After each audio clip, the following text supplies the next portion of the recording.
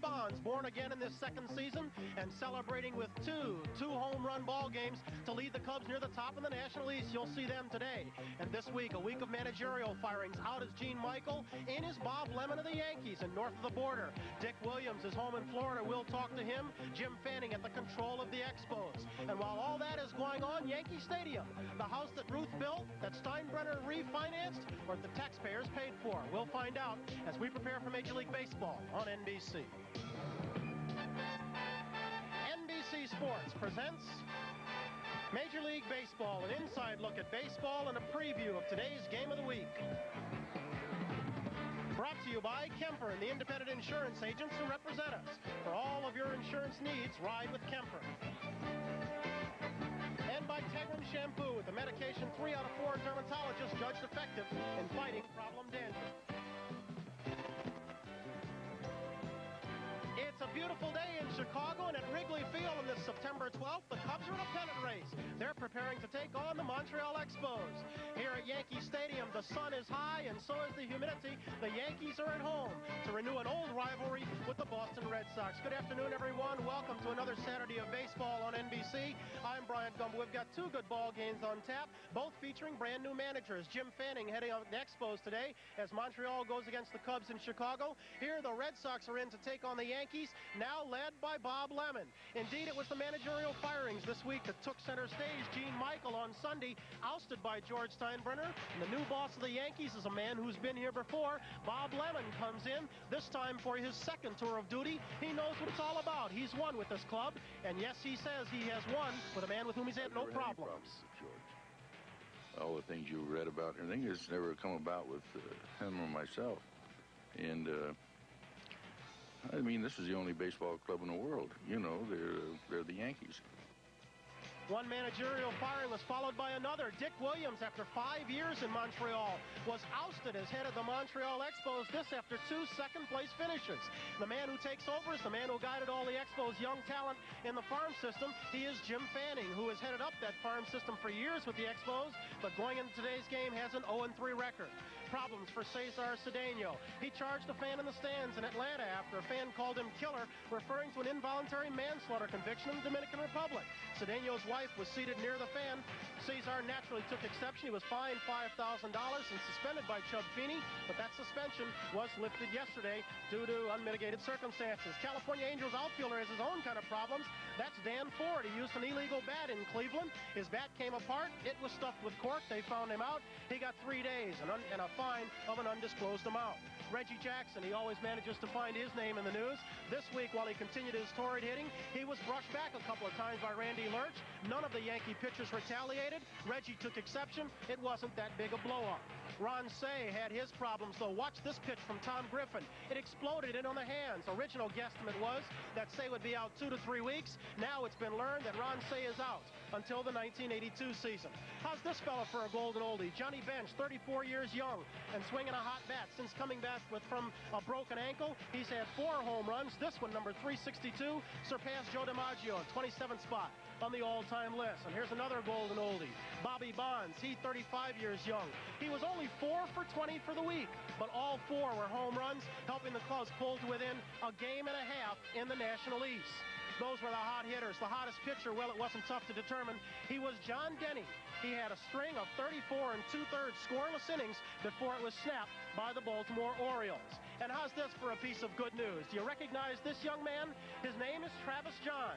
He was in an accident August 3rd. He fell from a three-story window. He was in intensive care for quite a while. He has now been released from the hospital. Our prayers have been answered. Travis John has no lasting neurological damage, and we're all thankful for that. Managers, they're in and they're out. We're going to take a look at that when we come back. The change of managers here in New York got the most play, but there was a managerial change that was equally important in the National League. Out is Dick Williams. We'll talk to him in a moment. As head of the Expos, in is Jim Fanning. He's standing by in Chicago with our Tony Kubek. Tony?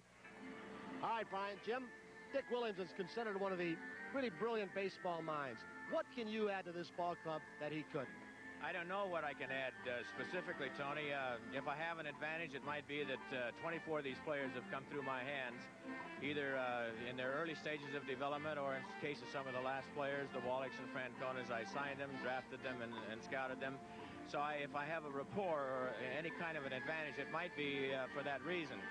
But I'd like to say one thing about Dick. Uh, I don't know that there's ever been a major league manager that I've ever been around who played the players that the farm system delivered like he did. Uh, when we told Dick that this guy is ready, or Gullickson, or Sanderson, or Palmer, or Charlie Lea, or Wallach, he said, that's good enough for me, and he played them. And I don't know that there's been another major league manager ever who has had that confidence in uh, those of us who run the farm system. Jim Fanning, our thanks to you. Good luck the rest okay. of the year. Thank Hope you, will be back next okay. year. Brian? Okay, Tony, thank you very much. The man Jim Fanning replaced, of course, is Dick Williams. He's standing by at his home in Tampa. Dick, first let me ask you, getting dismissed from a Major League job is nothing new to you, but were you surprised to be let go in Montreal? Well, at this time of the year, I, I was. I was hoping to finish the year, and I figured we had a win and still may not stay there. But uh, uh, I think the Expos figure this is the best thing to do at this time, and uh, I'm all for them. I wish them nothing but success. I enjoyed my five years at Montreal. The fans are outstanding. The front office, just great. John McHale and, and Jim Fanning and uh, Danny Menendez. It's an outstanding organization. Dick, there was a quote out of Montreal that said one of the reasons they made a change was because there was a lack of discipline on the club. That is a strange charge against a Dick Williams team. Well, I think with the demise of the reserve clause, uh, the biggest thing a manager has to do is worry that they get to the park on time, do their pregame work, and then the operation of the ball club. Evidently, the front office saw it differently, and uh, I mean, it's that their decision to make. I have no animosity whatsoever, and I wish them well. Dick, once before, George Steinbrenner tried to draft you to manage his Yankees. Um, do you foresee that as a possibility in your immediate future? I have not talked to anyone at all, Bryant. Uh, uh, nor has anyone contacted me.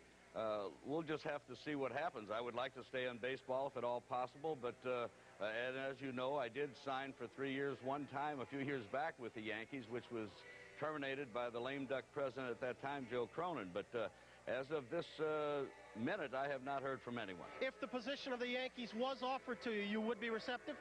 I would have to listen, absolutely. One final question. Are you lowering your handicap? I'm afraid not. My son took me for uh, uh, for a few skins yesterday, and uh, one good thing about being home at this time of the year, I did get to meet my future daughter-in-law from Calgary, Alberta, Sue Podgurney. She's down here with my son, and Okay. uh, this was one good thing. Thank you, Dick. Thanks very much. I know you didn't like the second, the split season anyway. Okay, hello and goodbye. It is musical chairs when it comes to managers. I'm sure this is not what the Beatles had in mind when they wrote it, but the song fits.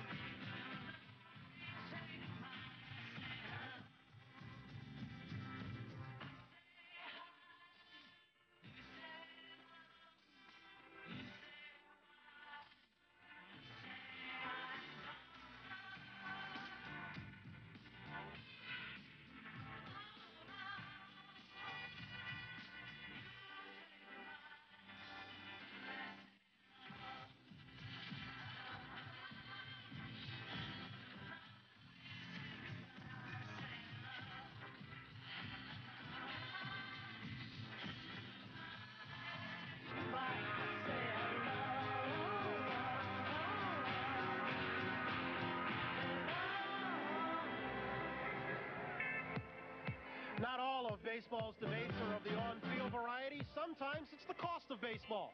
Pete Axthelm looks at that when we come back following this message. The experts and fans alike consider it the most respected football show on the air today.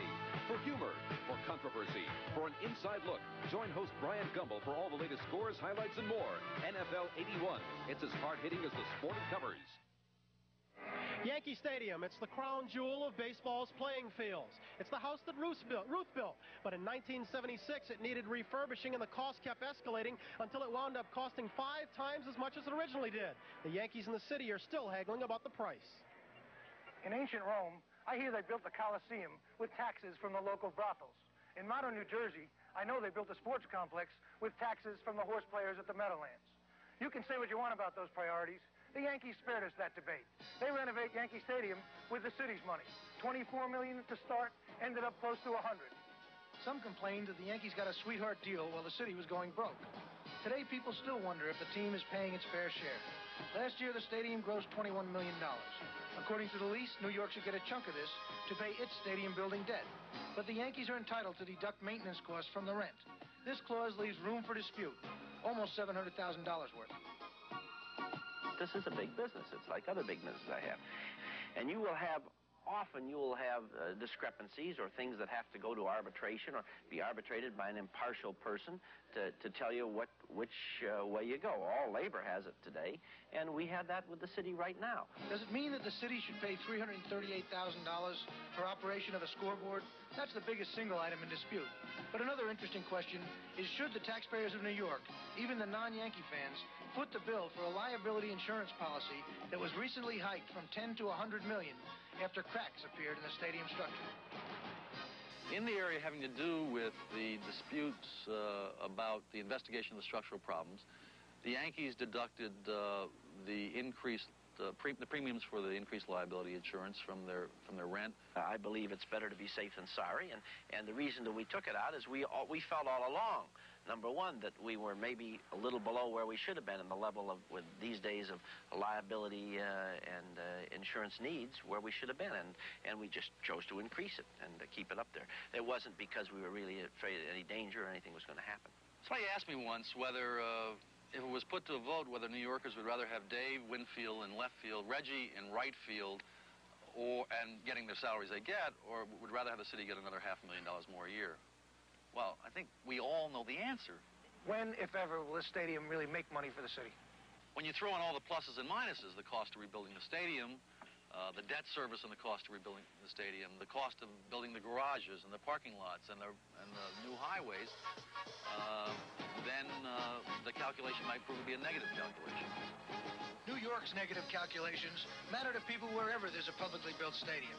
Because whether your local minus pool is filled by old-time brothels or modern budget cuts, you're one of the sponsors of your own town's modern coliseum. Spoke to a person from the Department of Parks yesterday. It seems the Yankees and the city of New York are now very, very close to an agreement, but things have been at a standstill for the last few weeks while the lawyers argue over the legal language of the agreement. In any event, Yankee Stadium in here, and we've got baseball to come. The Red Sox and the Yankees, the Cubs and the Expos. The executive producer of NBC Sports is Don Ohlmeyer.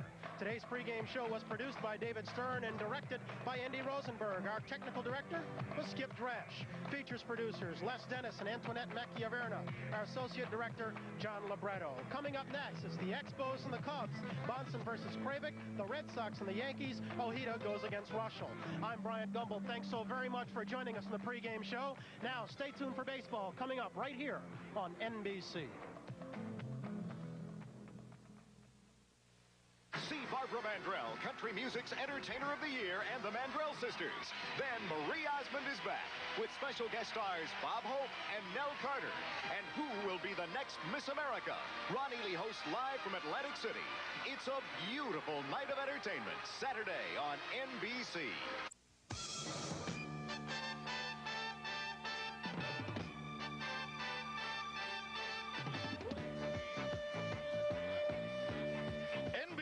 Sports presents Major League Baseball Game of the Week.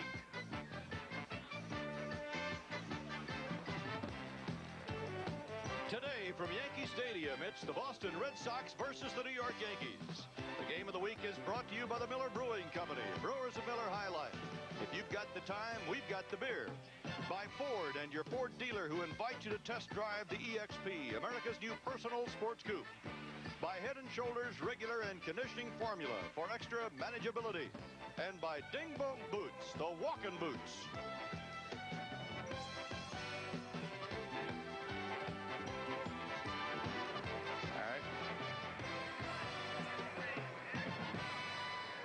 This is Yankee Stadium in New York, where names like Jimmie Foxx, Joe Cronin, Ted Williams, Carl Yastrzemski, Babe Ruth, Joe DiMaggio, Lou Gehrig, and Mickey Mantle participated in one of baseball's great rivalries. The Boston Red Sox against the New York Yankees, and they're at it again today. Hi, I'm Merle Harmon with Ron Luciano. Ron, I was talking about some pretty heavy hitters, but really the Red Sox have only one genuine power plant left, and that would be Jim Rice. Yeah, they've got a lot of old ball players, too, led by Carl Yastrzemski. 42 years old. Every time he walks on the field, sets another record. They got a lot of young ball players. Bob Ojeda, 24 years old, pitcher today, and the organization can't believe the man has improved that much in only one year of Major League Ball. But their older ball players are getting a lot older. And the younger ball players are getting a lot older very fast. But the story today, Boston, the rivalry with New York. And no matter what we see today, you know Boston's going to give that little extra because of the rivalry. Red Sox manager Ralph Houk is hoping the Red Sox will wind up in the playoffs. We know the Yankees are going to be there because they won the first half. They're now playing under Bob Lemon for the second time. In 1978, he took over the Yankees from Billy Martin and led them to a World Series championship over the Los Angeles Dodgers. Lim is back, and for the time, everything is cool in New York, as they would say. Uh, cool with Reggie Jackson, too. No, hot with Reggie Jackson. He's arrived a little early. He's been carrying a hot bat. Mr. October is having quite a September. The Yankees need that power. They've got the pitching. They've got the best pitching staff in the league ERA-wise. They're under three. And the bullpen with Ron Davis and Goose Gossage, need I say more. But as Ronnie says, it's the rivalry. The Red Sox and the Yankees. And we'll be back with the lineups right after this.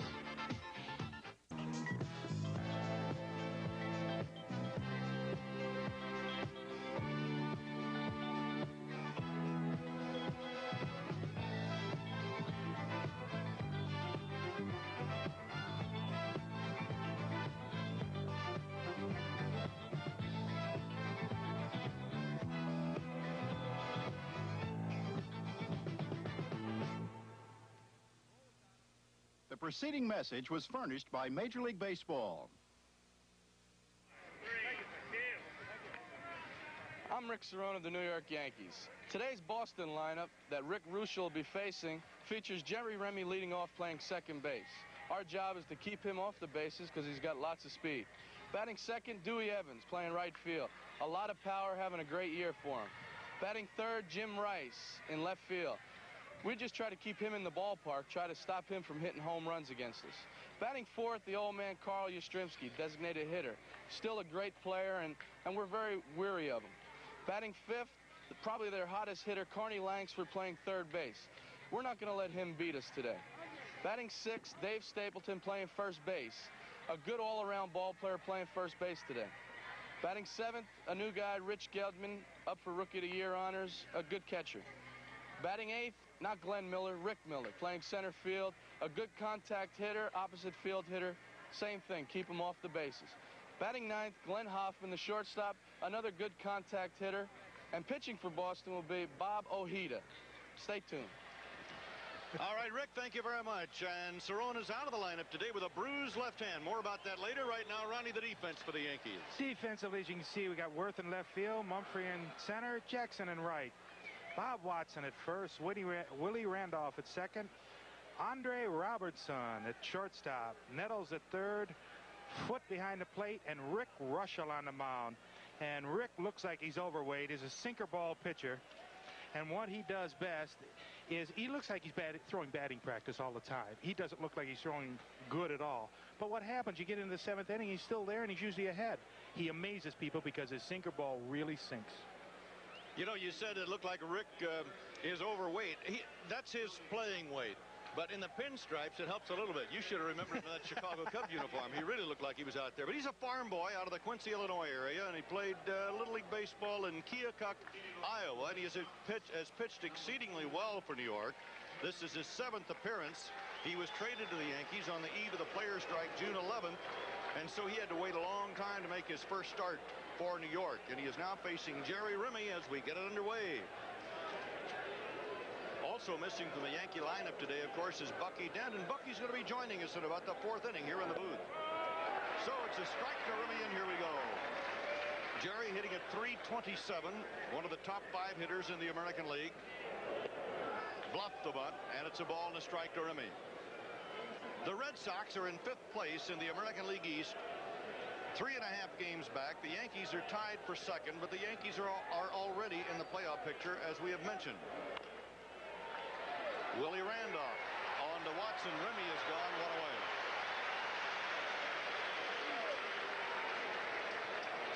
Bob Watson, former Boston Red Sox first baseman, played a year there, declared his free agency, and joined the Yankees. Now Dwight Evans, talk about a guy having an outstanding year. There are some of his statistics. He's cooled off a little bit because he's been putting more pressure on himself, Ron, trying to carry the club here in the second half of the season. They don't have the big home run hitters. And he thinks that he's supposed to hit home runs now. And he's not supposed to do that. He's way up there. He's got 16 home runs for the year. He's way up there. His job, get on base, hit that ball back through the middle. When he tries to pull it, he's in trouble. And that's what happened. He went into a slump. He tried to pull it. He has not had the patience in this second half. I guess that's the best way to put it. Two balls, a strike to Dwight Evans. One out, nobody on. Top of the first inning. Ted Williams saw him and, and, for years in spring training camp said, that's the best man on this roster. That guy should break every record. He is terrific. Tony Tony Kubek saw him in spring training this year. Look at that back foot, how deep he is in the box. Tony Kubek saw him in spring training this year, and he said, this is the year for Evans. Tony has to be the, he should be manager. well, he might be a candidate here in New York. That's Robertson, the rookie, on to Watson, two down. Andre Robertson replacing the injured Bucky Dent, and Bucky has the right hand in the cast, and we'll take a look at it when he joins us here at about the fourth inning. Robertson, an outstanding prospect, and I'll tell you who likes him, Charlie Lau. He thinks he not only uh, can handle his job in the field, but he thinks he's going to swing a pretty good bat. No, not power, but he's going to get on a lot, hit 280, 290. This is Jim Rice. Strike one. We'll watch Andre, but I think Andre swings at too many pitches. I don't think he's patient enough. Maybe he'll learn with time. Of course, Charlie Lau knows more than I do. And it's a ball and a strike to Rice. One thing about Rice, as you check out his statistics for the year, 13 homers, 49 RBIs, even in a short season, that really doesn't sound like a, a Jim Rice year, but he just does not have the cast of characters around him anymore that he had when Lynn was uh, in Boston, Fisk was there, and of course Yaz was two years younger. Yeah, the thing about, oh, what a pitch! Fooling completely. He backed away, thought that ball was going to be way inside, a breaking ball. I didn't know Rick had that good a breaking pitch. Indeed he has, and it's a dandy. It fooled him completely. Here it comes. Watch him back out of the way. He thinks it's going to be inside. It isn't. So at the end of the first half inning, we've got nothing to nothing. Next Saturday, rejoin the family as the tough Pittsburgh Pirates battle home run king Mike Schmidt and the Philadelphia Phillies. Or Reggie Jackson snaps out of it in style when the New York Yankees take on the Boston Red Sox. Check local listings. Hi, this is Jerry Remy of the Boston Red Sox, and this is the lineup we'll be facing today for the New York Yankees. Leading off and playing second base, one of the finest second basemen in the game, Willie Randolph. Jerry Mumphrey will be in center field. Lou Piniella will be the designated hitter. Reggie Jackson, who of course is always dangerous, will be in right field. The Bull, Bob Watson, will be at first base. Graig Nettles, who's made some tremendous plays at third base, will, will be playing third base today. Barry Foote will be the catcher. Dennis Werth will be in left field. And Andre Robinson will be the shortstop today. The pitcher will be Rick Reuschel. And when Jerry Remy compliments Willie Randolph as being one of the fine second basemen, he can put himself in that same category. Yes, he can. But two of them they're both up there as the great ones in the league. Pitching today, Bob Ojeda. What a story this kid is. He gained 20 pounds over the winter. His best pitch is a changeup. And last year they waited for it. This year, with the 20 pounds, he's got more beef behind his fastball. And when he throws that fastball, they can't wait for the changeup. He strikes him out with a changeup, throws it any time. And watch for that pretty changeup, and it's going to fool the batters, just like Reuschel fooled Rice last inning. And Ralph Houk, who one time managed these same Yankees, but is now on the third base dugout as a manager of Boston, really likes Ojeda. In fact, he likes his young pitchers not only with the Red Sox now, but also in the Red Sox farm system. And I don't think it's any secret that the Red Sox personality is going to change over the next year or so as Willie Randolph leads it off for the New York Yankees, hitting a 232 for the year. Last year, Willie hit 294. And Bob Ojeda, who has won four and lost two, is ready to let it go for the Boston Red Sox.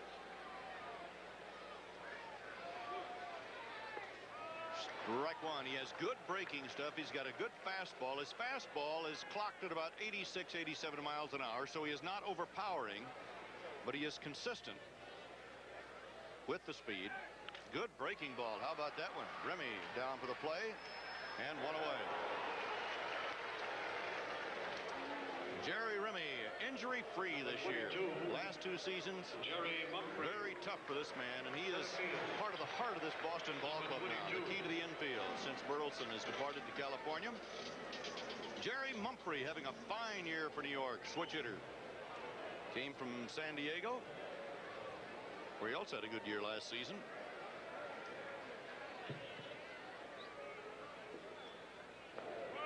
Good breaking stuff from Ojeda.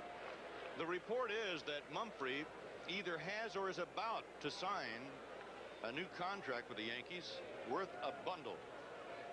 How many million? Something like five million for six years. Nothing in two.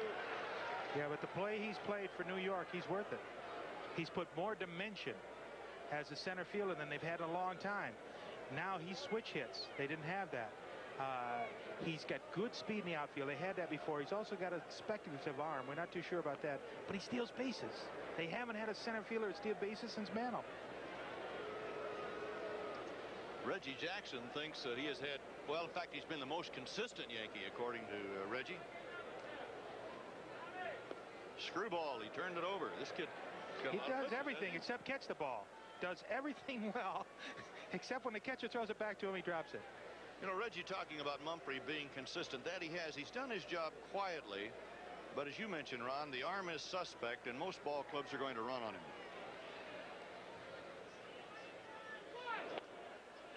Low inside. Three balls, two strikes. Here's a good spot for that changeup now. He's a little mad. He wanted that pitch. He wanted it right. He tried to be too fine with it. Let's see if he comes with that changeup. One out, no score, bottom of the first. Breaking ball, and he fouled it away. Well, let's see. We've got we got Bucky Dent out of the lineup today for New York. He'll be joining us later on. Rick Cerone has a bruised hand, but Bryant Gumbel was here to play. He's got a bruised forearm from a ball game yesterday in Central Park. But you saw him today on the pregame show. Absolutely. That left arm is skinned from the elbow to the wrist, but he's a gamer, isn't he? Oh, he's beautiful talked to Bucky, and he's telling him about his injury. Bucky's missing probably the, the playoffs and the series, besides the rest of the year, and Bryant's telling about his injury. Some kind of nerve by Gumbel. Uh, we took care of him pretty good, I guess. He just departed. Three balls, two strikes, one out. Jerry Mumphrey from Tyler, Texas. 29 years old last Monday. This is Bob Ojeda, who's 24 years old. There's that changeup. He took something off of that, and you saw Jerry was just completely off stride. Watch, perfect motion. You think it's a fastball. He's got perfect delivery. Everything's coming except, whoop. Perfect, perfect. Bob Ojeda from Los Angeles, California, and Visalia, California. Ojeda, when I first saw him with a J in there, I thought he would be Oriental. I really did, but no. And when I saw him, I said, you're Bob? He said, yes, what's the matter? Look at, he's Spanish descent. Two down, nobody on. Lou Piniella at the plate. Strike one. You made a mistake with Piniella one time, too, didn't you? that was beautiful. There he is. There's Jex, Reggie Jex. Boy, he is so good. Yeah, Lou, one time he came up and I said to him in Italian, I said, hi, Lou, how you doing? He said, what are you talking about? I, well, don't you understand your native language? He said, I understand my native language, but not yours. I said, well, what are you? And he said, I'm Spanish. I said, strike three. Foul ball. You said strike three before the pitch or Before anything. he laughed for five minutes. Two down, nobody on to the Yankee half of the first inning here at Yankee Stadium in New York. Bob Ojeda last year at Pawtucket and Boston convinced the Red Sox that he was no more than another year away in the minor leagues, and he didn't even spend that much time in the minors. That 20 pounds really helped him. He says he feels so much stronger. He said, maybe I'm not, but I really feel it. Just missed with a breaking ball. You know, Ojeda had been, uh, in fact, the uh, the Red Sox were going to call him up prior to the strike, but the Red Sox were on the coast, so they made the decision, well, we'll wait until we get home. The strike hit while they were on the road, Ojeda stayed at Pawtucket where he was able to pitch, and it really helped him. There's the screwball. Two balls, two strikes to Piniella. But Ralph Houk, we were talking earlier about the change in the personality of the Red Sox. They've always been known as a power club. And he said, uh, we're going to be uh, have a little different look in the next year or so. We'll have better pitching, better defense, three and two, better defense. We'll play a little tighter. And we'll have one or two people maybe that can pop that long ball. But he said, I really feel good about the future of the Red Sox. I don't. I disagree with Ralph completely. When you've got Fenway Park, which is a hitter's ballpark, you don't get pitching and defense. You play for the big long ball in the big 10 innings. The big 10 runs in one inning. The fastball riding away from Piniella. And so Louis is on with the base on balls.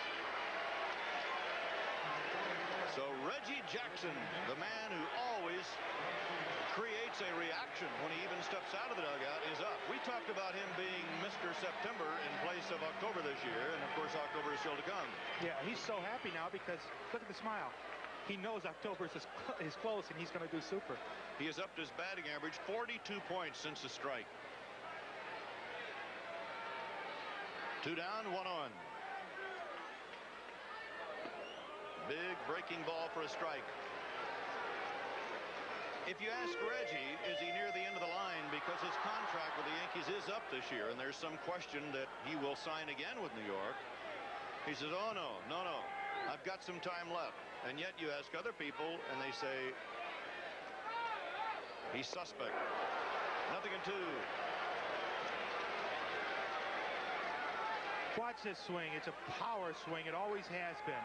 Perfect stride. He had the weight distributed right in the middle where it should be. He just missed the pitch again. Changeup. And he throws you just a little off. But he's right back into midseason form with the weight, Charlie Lau style, right in the middle of your body when you're in the middle of your swing. No balls, two strikes. Ojeda to Jackson. Missed with the breaking stuff. Reggie, uh, George Steinbrenner ordered physical for Jackson here a few weeks ago, and since that time he's been hammering the ball. In fact, he's had three game-winning RBIs since then, and I understand now the entire Yankee ball club will have a physical on the 16th of September. He figures if the physicals work, you use them, huh? Got him. So two strikeouts for Bob Ojeda, and the walk doesn't hurt him, and Jackson is gone, and so are the Yankees, and we played one at Yankee Stadium in New York. And it's the Red Sox nothing, and after this strikeout, the Yankees nothing. And we'll be back after this. That's Yogi Berra on the phone in the Yankee dugout. You don't. See, I don't see Lemon. Do you suppose uh, Yogi's been named manager or something? He's, He's talking on the phone. Who's he talking to? Steinbrenner. Where is Lemon? I don't know. That's Rick Reuschel. you know that. And leading off for Boston, Yaz, DHing it today. Goes to prove you need a pitcher and a batter. You don't need a manager. 255, six homers and 42 runs batted in. One ball and a strike. Carl was 42 years old August 22nd, his 21st year in the Biggies. Off-speed stuff from Reuschel. One ball, two strikes. He has pulled a leg muscle about 10 days ago, and he really hasn't been running very well, so he's been DHing it. That's what he has done in the second half of the season. He's always been a great starter, and it's been lucky for him, two starts this season. Got the inside corner Reuschel nailed it down. Again, not overpowering. He thinks the ball was inside, but not overpowering. It wasn't a blazing Gossage fastball or a Ryan fastball that went by him. Just cute enough and sharp enough to get a strike three. And you know what? E either Carl was guessing different location, and he's not really that much of a guess hitter, although he's unhappy with the call. But I think, uh, I think Rick gave him a location he wasn't looking for. Yeah, you are not going to pull him on the pitch. No, you don't usually come inside to a car with two strikes. You try to go away from him because he pulls that ball so well. Reuschel missing the inside corner to Carney Lansford. 24-year-old third baseman from San Jose, California. What a year he's had. Short season or no short season. Foul ball. Lansford came from the California Angels along with Mark Clear, who's out in that bullpen for Boston today, and Rick Miller for Burleson and Hobson in a winter deal. As we look at the batting leaders, and we see Mr. Lansford up there in the number three spot, and Jerry Remy, the fifth top hitter in the American League. Now that's where you expect to see Boston. Up there among the hitting leaders. That was a foul tip. There's nothing, I suppose, that disgusts a batter more than for, you know, to just get a little bitty tick of the ball. Uh, and what an umpire does, he hears it. And so he goes up and he says, I heard it. and Carney probably said, I know you didn't see it. You can't see that for sure. Oh, he saw that one. Mumphrey, lots and lots of room. It's 430 feet out there. Two down. That's sad that you hit a ball that far and you don't get anything except a time at bat at it. You know, they talk about Mumphrey uh, not being an outstanding center fielder, but I think he gets a good jump on the ball. His Speed makes up for a lot of faults. Well, not, but but he also, I think he is he has learned the hitters very very quickly in the American League. He's, in fact, he even cheats a little bit uh, on uh, some of them. Yeah, but uh, you can't give him all the credit. You got to give Yogi the credit. And Bucky today, uh, I don't know who's taking over for Bucky. Bucky's been doing it the last few days. They place the outfielders and the infielders on every pitch. Dave Stapleton playing at first base today. The man that plays everywhere. Big ballpark. Two balls, no strikes. In fact, Ralph Houk says that uh, Stapleton, with this kind of a target to shoot at, and this is okay for Dave. He's not a home run hitter. Oh, isn't he? How about this one? And it is gone. All right, Mr. Stapleton. Uh, you can't trust ball players. As soon as you say something about it, they do the opposite. He's not a home run hitter, and he just powered that ball. So it's a one to nothing Boston lead, and Reuschel is saying, now wait a minute. I pitched you to hit the ball away, and you didn't do it. He heard the same thing you did. He's not a home run hitter. So Reuschel came with a ball that did not sink. See how it stayed up there? Oh, what a play by Willie. That was the catcher Gedman, and Willie Randolph went. He looked like a basketball player with that leap. Went high in the air, stabbed it, and we've got a one to nothing ball game. So the home run, the long home run by Stapleton, one to nothing Boston. The Yankees will come to bat in the bottom of the second. Bob Watson will lead off for New York. I get all kinds in here. Some like it straight, some with a twist, but they all want the best disposable razor. If they like it straight, it's Gillette's Good News Razor, the Twin Blade Classic. If they like it with a twist, it's Gillette's Swivel Razor, twin blades plus a moving head that hugs your face. Both shave better than any single blade disposable. Good news or swivel. Gillette puts two great shaves at your disposal. So what'll it be? Straight or with a twist? You don't need a haircut, Jim. You need Brill Cream. Brylcreem? Sure. Your hair is short enough, but it's a mess. It sure is. Brylcreem's so concentrated, just a little dab keeps hair healthy looking and in control all day. Look, I'll put a little dab of Brylcreem here. Nothing here. See? Even with the hair blower, the Brylcreem side doesn't fly around. Without Brylcreem, hair flies around. Terrific. You're right. With Brylcreem, a little dab will do you. Come on, guys. I'm all fished out. Besides, it's just about Miller time. It's about that time. Time. I'm going back. The sun's about to set. It's time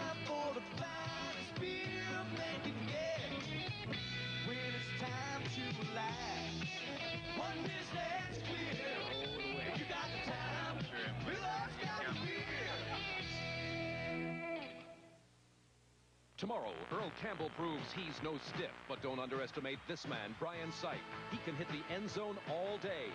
Houston versus Cleveland, what a battle. Or the New England Patriots try to ground the NFC champion Philadelphia Eagles. Check local listings.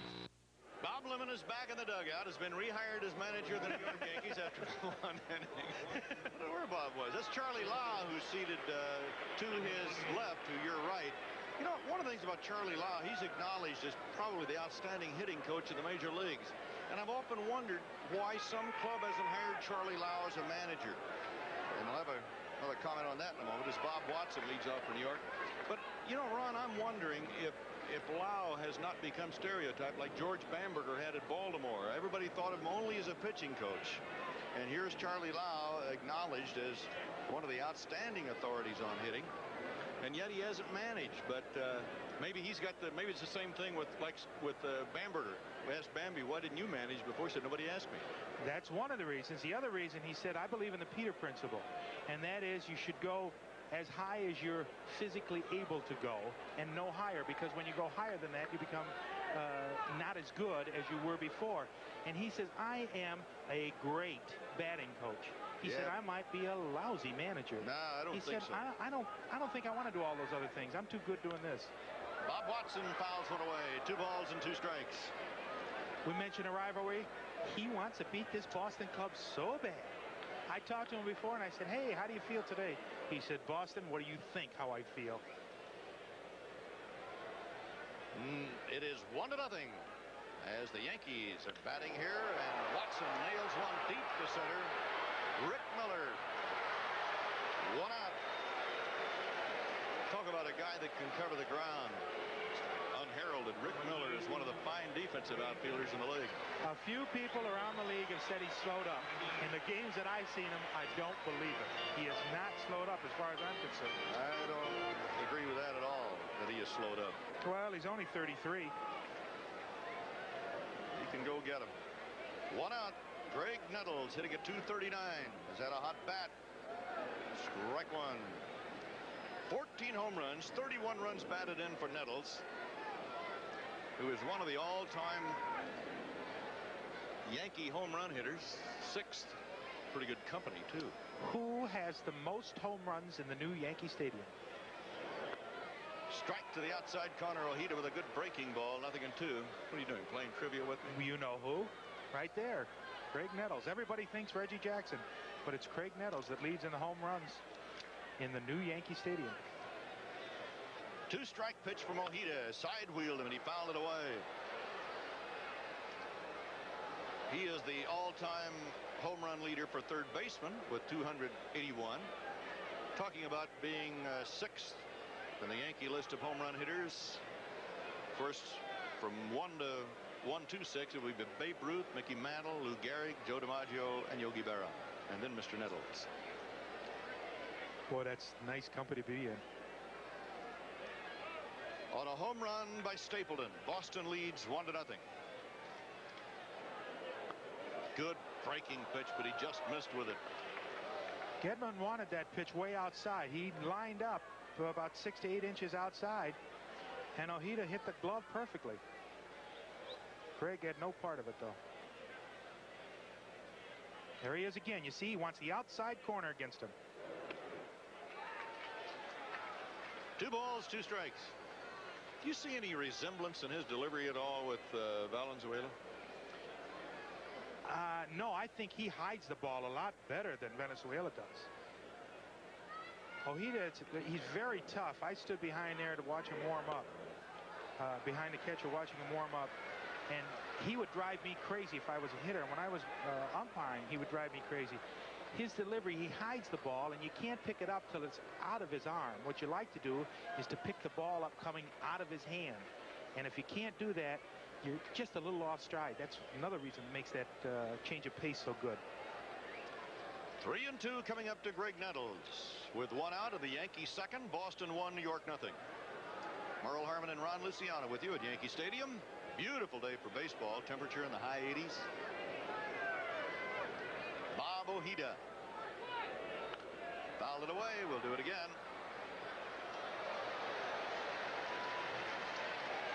Okay, now watch how he gives you the right side of his body. And you can see the right side, but you can't see that left arm. It's hidden behind his whole body. Then all of a sudden it comes out. And by that time, it's too late. Your eyes aren't that quick that they can adjust. He hides that ball beautifully. Right there he hit it. Whoa, he hit it beautiful. He fooled Nettles on that pitch. He jumped on him with a fastball and ripped it over the outside corner. Again, Nettles is probably looking for the off-speed pitch, and he hit the ball so well, he just flipped, flipped it right by him. And Nettles says, oh, no, darn it. I know it's on the outside corner, but I wish he wouldn't call it. So Ojeda has knocked off Watson and Nettles and now faces Barry Foote, the catcher. Off-speed breaking ball, a little low. Foote filling in today for Rick Cerone, who's got a bruised left hand. Back of the hand, he says. He said he, he heard it swinging, and then he re-injured it in Kansas City. One of the Kansas City ball players came around with the back of the bat, hit it on the back of his hand. But I told him it's hurt from Gossage. when Gossage shows that ball, it not only hurts the front of your hand, it hurts all the way through to the back. Ojeda tried to back one up, and he missed outside with it. Ball two, strike one. Red Sox one, Yankees nothing. You saw Ojeda just a second ago shake his head no. This ball's in play. Miller's going to catch it in center field.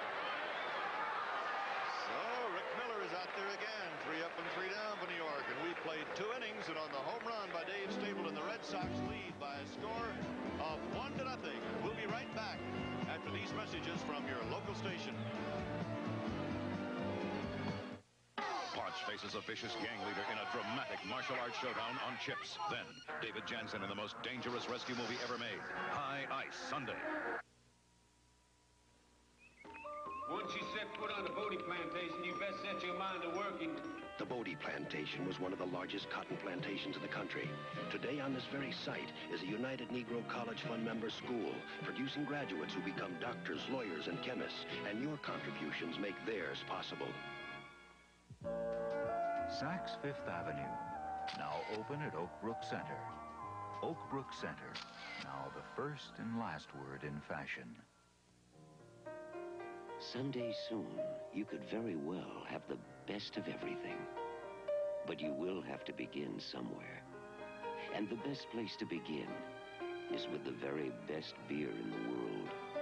The best tasting beer wherever you go. When you think about it, why would you ever have anything else? Come to think of it, I'll have a Heineken.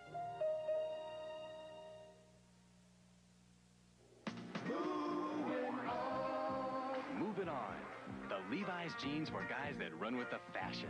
Moving on jeans, style stretch for miles. Miles of moving on styles. Moving on will take you anywhere Moving on jeans for guys with the fashion. Levi's moving on jeans. Bob Newhart's back September 14th at 3.30 on Channel 5.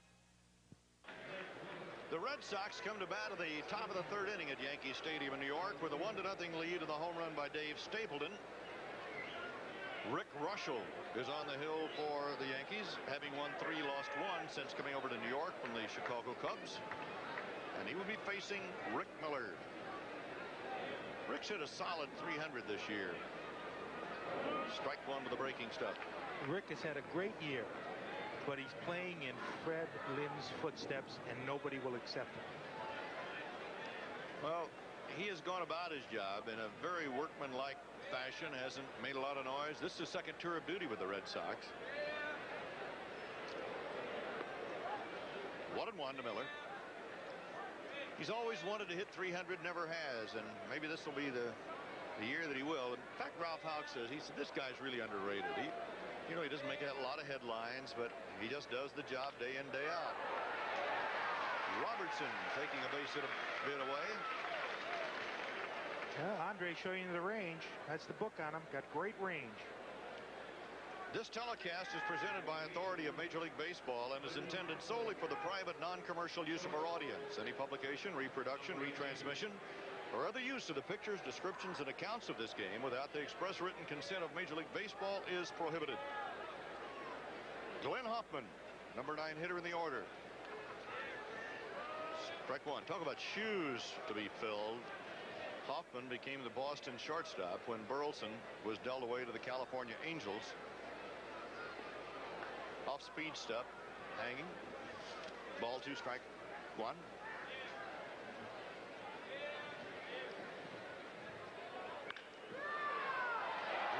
Robertson. Can he get him? Yes.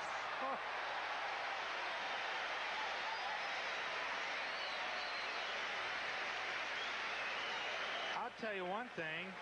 If the numbers weren't different, I think it was Bucky Dent. And you know, that's a hard act to follow, Bucky Dent. It's like following Frank Sinatra in a concert. You can't do it. He did everything perfect, went deep into the hole, set himself, knew he had time, and threw a perfect strike. Look at, he's it by three steps. Hoffman's not that slow. Jerry Remy for the second time. Tough Sunfield in left field for Dennis Werth, but he has no trouble with it. And it's a quick three up, three down for the Boston Red Sox in the third. Dennis Werth, who plays everywhere, catch, first base, outfield, and plucked that sun and made the play. After two and a half, Boston won, New York nothing. Has been one hit in the ball game, and that one hit belongs to Dave Stapleton. And he planted it in the left field seats, and it's one to nothing Boston here at Yankee Stadium, the house that Ruth built. You know what used to be here? In this spot Yeah. in New York? No. Former estate of William Waldorf Astor. Oh, really? The Astor family. Dennis Werth, talking about a guy that can do everything for you. Yeah, don't believe that statistic you just read. Batting, hitting, .087. That's what he's hitting, but that's not what Dennis is worth. He, Dennis is going to be a lot better hitter than that shows. I didn't say Playing Dennis is worth, with did I? again, huh? Yes. Bob Ojeda with a one to nothing lead. Strike one with a He's fastball. happier now. I said before, he shook his head last inning, and the reason he was shaking his head, he was behind, uh, let's see, he faced seven batters. He was behind on five of them, and he does not like to get behind. That's not his strategy. See, two pitches. Now you won't see him shaking his head. We pause briefly for station identification. This is the NBC television network. WMAQ TV, Chicago.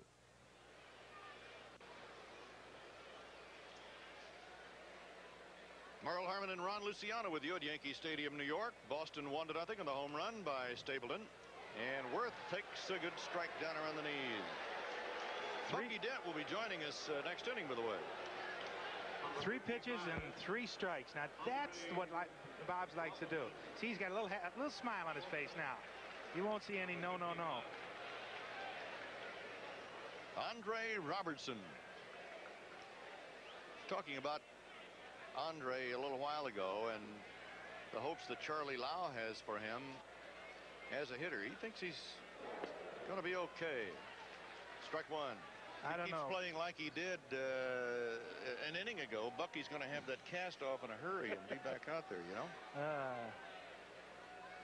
No balls a strike. I don't know if he can hit that well. I'm very suspect when you hear the guy's got a good glove. That usually What means does that mean? that usually means he can't hit.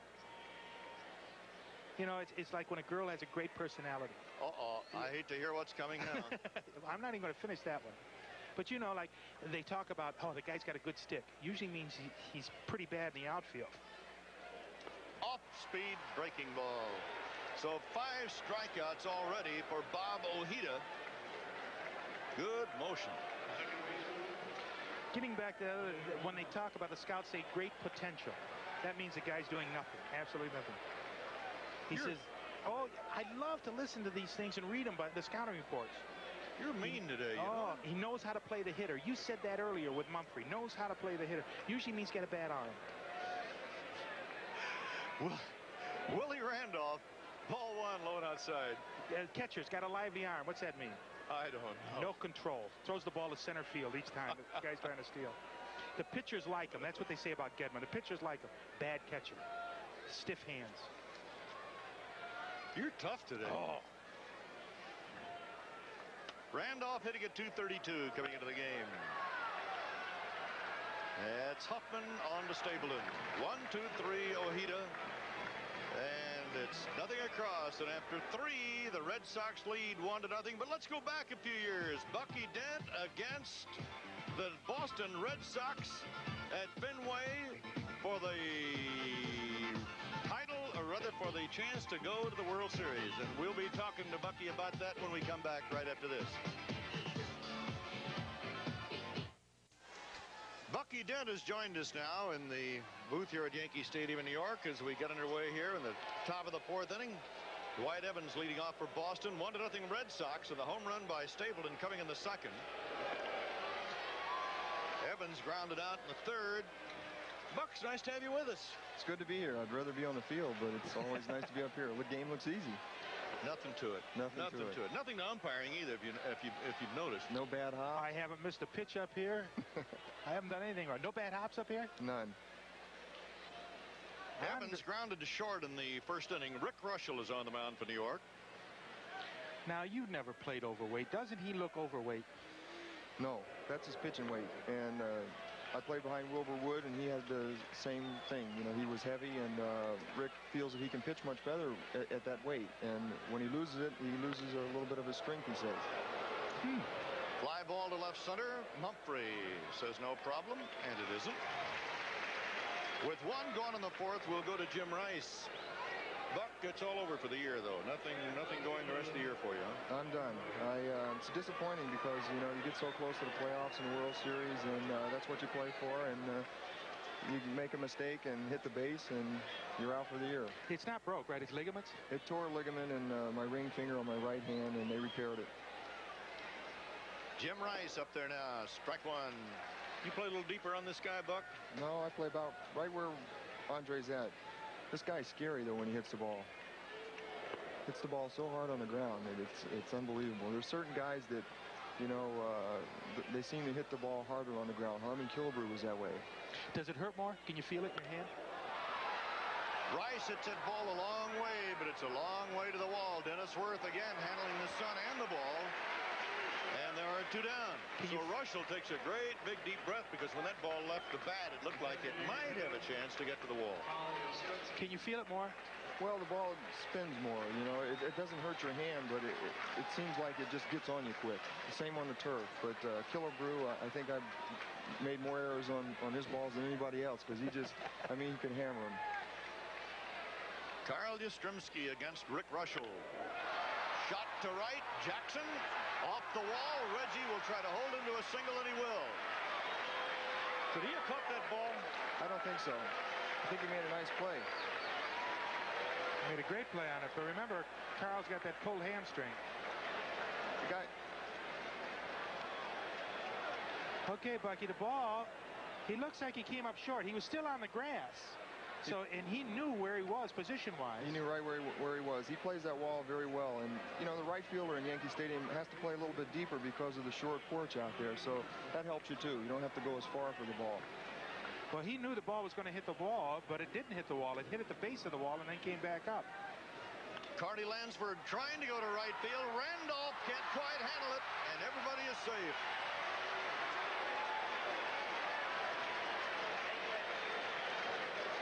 It'll be a base hit for Carney Lansford. Carney loves to swing at that first pitch. Randolph does everything right, but it hits on the heel of his glove. And when he tries to pull it in, it bounces off in his chest. Chases it down, no chance to get it. You saw it right off the heel, and it bounces off his chest. And boy, that's sad because he made that beautiful play earlier in the game.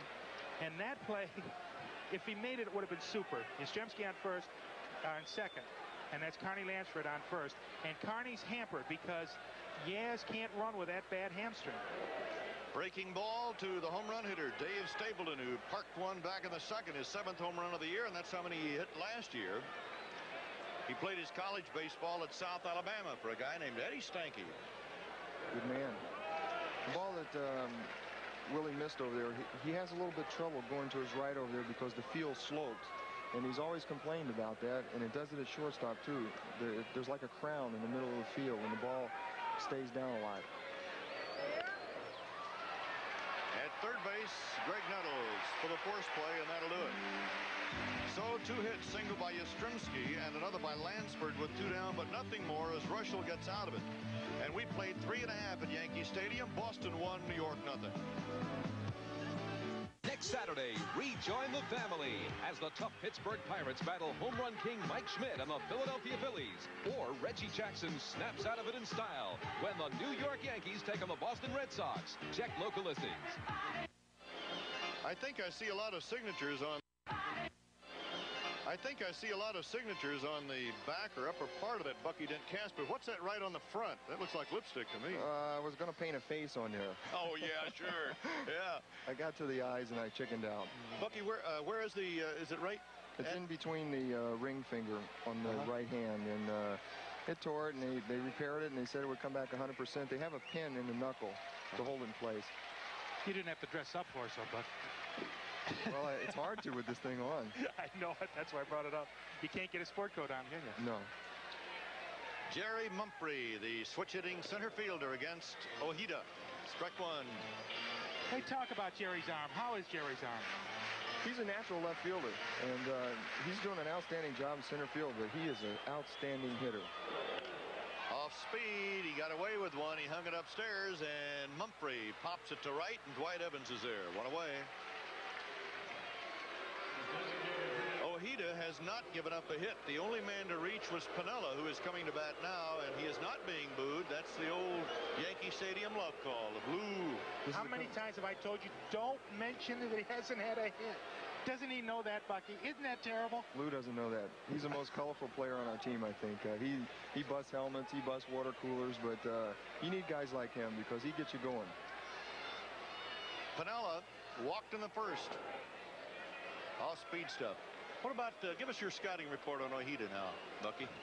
He's not an overpowering pitcher. I, I think he's got good control. He's moving his pitches around very well, and uh, a guy like this can give you a lot of problems. After two and a half in Chicago, Montreal won, Chicago nothing. Jim Fanning trying to get his first win as the manager of Montreal. Popped him up. And Rick Miller, two down. It looks like, Bucky, that he he keeps changing speeds all the time, and he has the batters off stride. Could be that uh, first time around the league, as they say. I mean, until they really uh, get a look at this guy. Uh, what do you think? I think that you hit it right on the nose. Our club's never seen, you know, Ojeda pitch, and uh, it takes a time around. Reggie, strike one. He struck out in the first. Been doing a good job the second half, Reggie, playing well. Swinging the bat well, playing good right field, and he's really hustling. Got his months mixed up. I think so. Mr. October is doing it in September. You said Piniella keeps you loose. How about this guy? Does he keep that clubhouse loose? He can do it.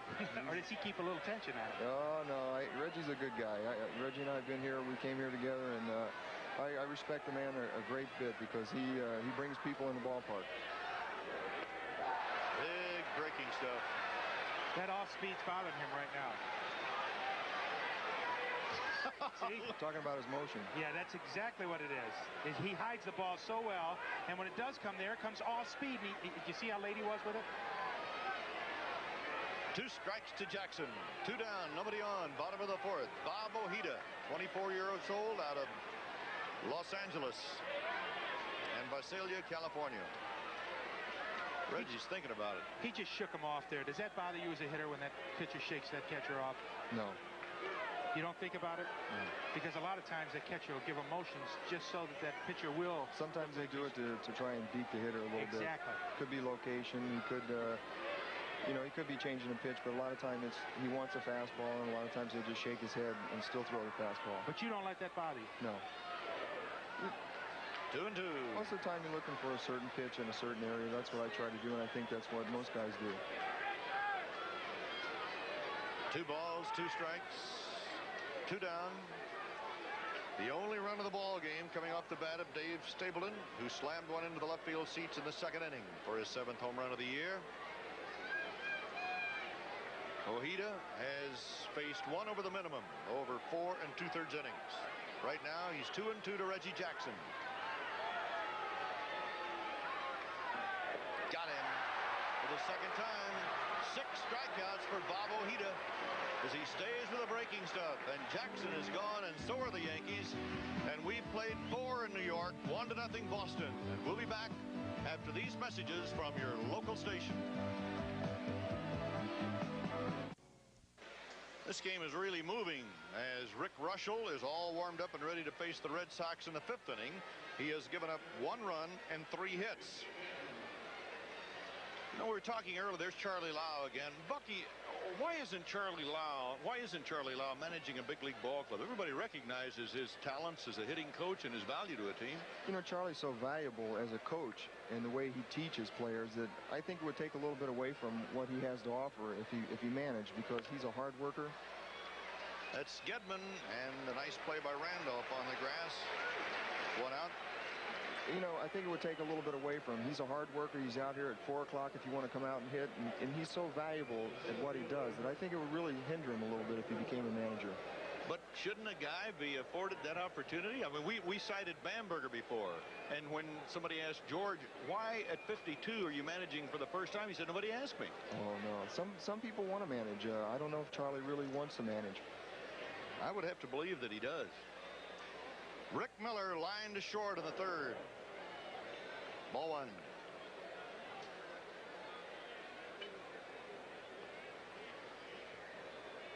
Miller, second time around with the Red Sox, came into the game hitting at 302. Sounds a little tough. That's why they're wearing the makeup, so to speak, today. After three and a half, Montreal won, Chicago nothing. Rick Reuschel, the ex-Cub. Down low, 2-0. Through the four innings, Reuschel's only thrown 45 pitches and 29 of them strikes. Ojeda's, on the other hand, has thrown 54, 35 strikes. At the knees. Rick looks like he's showing batting practice. So easy. Glenn Hoffman to follow, then Jerry Remy.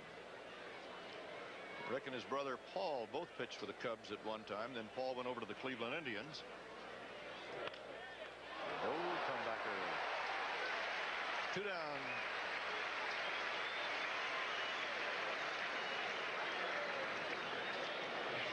You know, people, because of his size, think his mobility is a little bit bad, but he's an outstanding fielder. He shows it right there. Be tough to hit one through there. The guy's about 6'4". Ooh. He's, he's wide enough, too. He can block that alley pretty well. That's Hoffman. Andre Robertson to Watson. Quick one, two, three. Let's take a look at Robertson. And what about this kid, Buck? He's got good hands. I saw him in spring training, very impressed. Stayed down on the ball, comes up, gets his feet up under him, and makes a nice throw. He's a threat, huh? Could be. Buck says, yeah. So we'll go to the bottom of the fifth inning. Boston one, New York nothing. Bucky Dent, the Yankee shortstop, who's on the disabled list, is with us today. There's your old roomie, Buck. I've been with that guy a long time, and uh, they call him the goose, but I call him the animal. And I, I've seen him when he uh, he goes to the mound. He is like an animal. If he gets traded, you get traded, huh? Oh, I got to go, go right with him. Were you in the minor leagues together with the White Sox? We started together in the rookie league in 1970. We've come right along. Bob Watson. Nettles and Foote against Ojeda. Popped him up. And Dwight Evans. Easy play. One out. This guy's making the game look too simple. Bob Ojeda has permitted only one man to reach. That was Piniella who walked in the first. We are now in the bottom of the fifth. And Graig Nettles, who struck out in the second, is the batter. How about the rivalry? Bucky, it hurts not to be in there, I know, but does it hurt a little more not to be in there against Boston? It sure does. Boston, uh, it's always a big series, and for some of the players that, you know, are new to our ball club like Winfield, it's got to be exciting for them because it is a big rivalry. Brings that adrenaline out in you. Dave Winfield out with a sore shoulder right now. He doesn't miss many games. 1 0.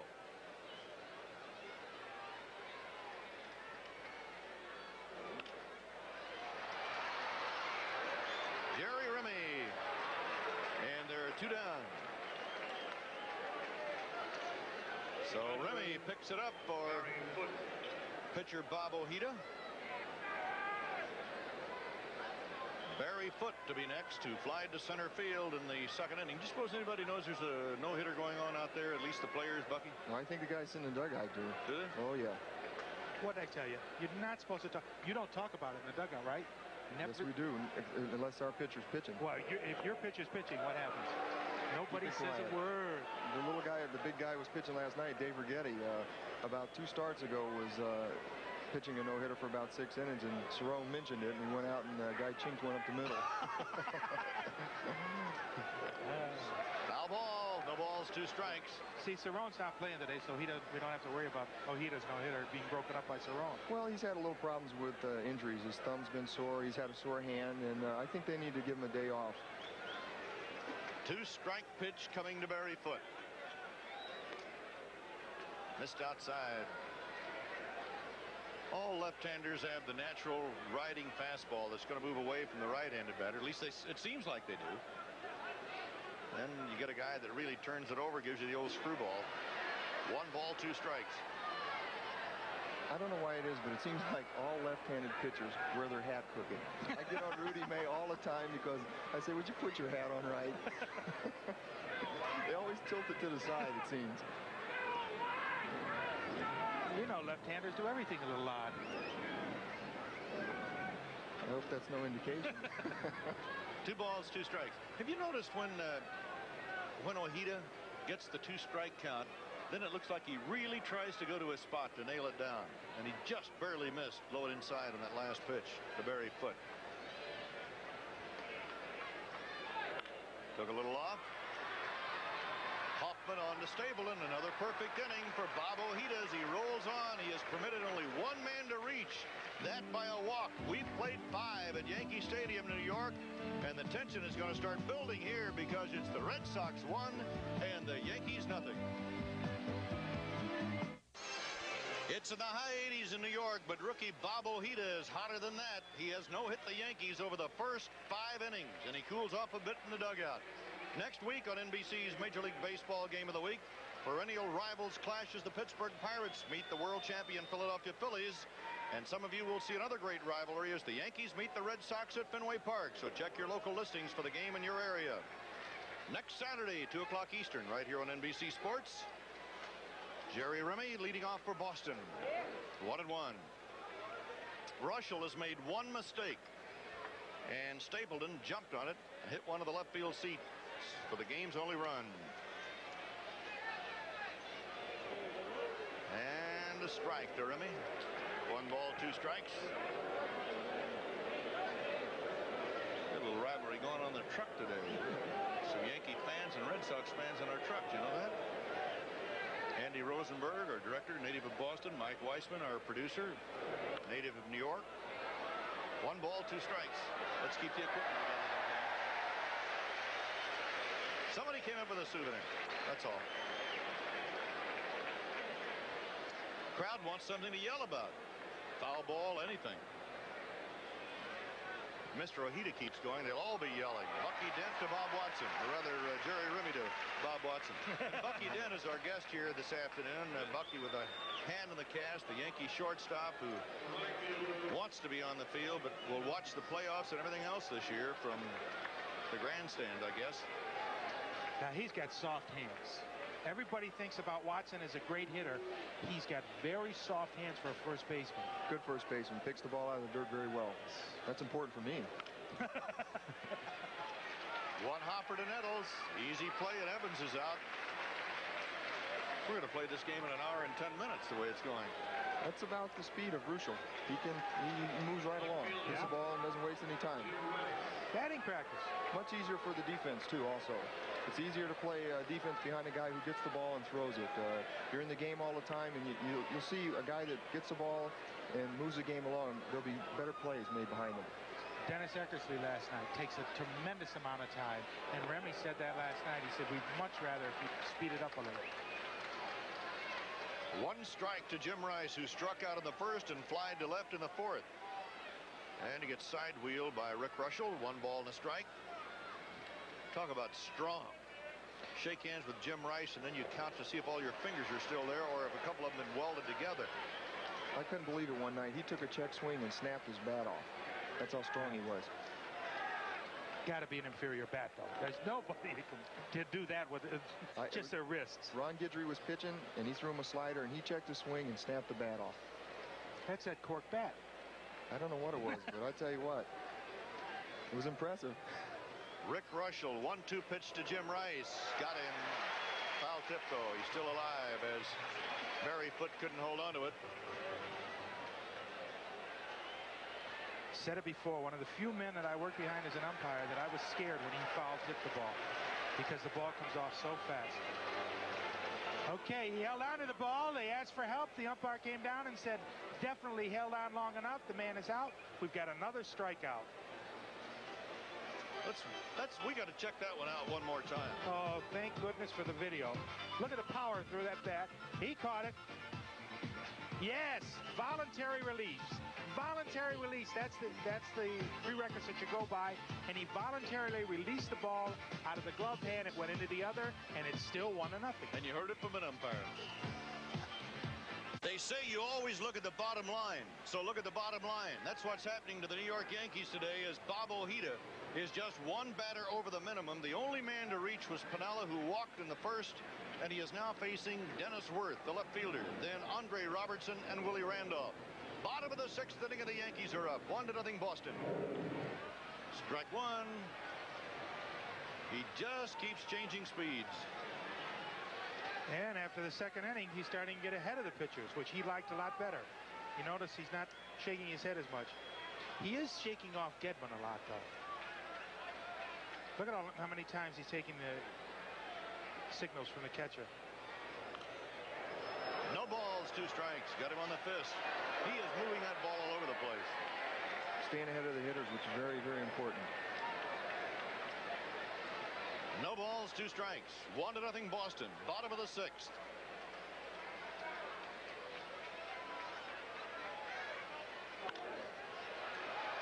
Good play by Lansford. It's still alive. Carney Lansford throws out Dennis Werth. You can feel the tension in the ballpark. When he goes down, it, it gets quiet. And he comes up and throws, and then everybody goes, ooh, darn. Mm. Because he did get him just by a half step. You saw it there. But you can really start to feel the tension in the, in the ballpark now. Strike one to Robertson, who struck out in the third inning. Here's a guy that may be after your job, Bucky. I, I hope not, but it looks like that way. he's a good little player. I'm, I'm really happy for him. He's got a chance to get some experience now, and uh, he's doing a good job. He's taking advantage of it. Uh, I've tried to help him a little bit, positioning people, and uh, I think he's going to be a good little player. He needs to be a little more patient at the plate. All right, we said at 30. He's too aggressive. He strikes out too much. Like right there, he's got to look at his pitches more, don't you think? Take a few more pitches. Fly ball to left, and Jim Rice is there. Down go the glasses. Out number two. That's 15 in a row that Bob Ojeda has cut down. Remember, the only man to get aboard was Piniella, who walked in the first. You're right. He has to be a little more patient. Uh, he has to. He's the kind of guy that's going to have to get on base a lot. Take. There's a good example right here, Willie Randolph. He's got to be like him.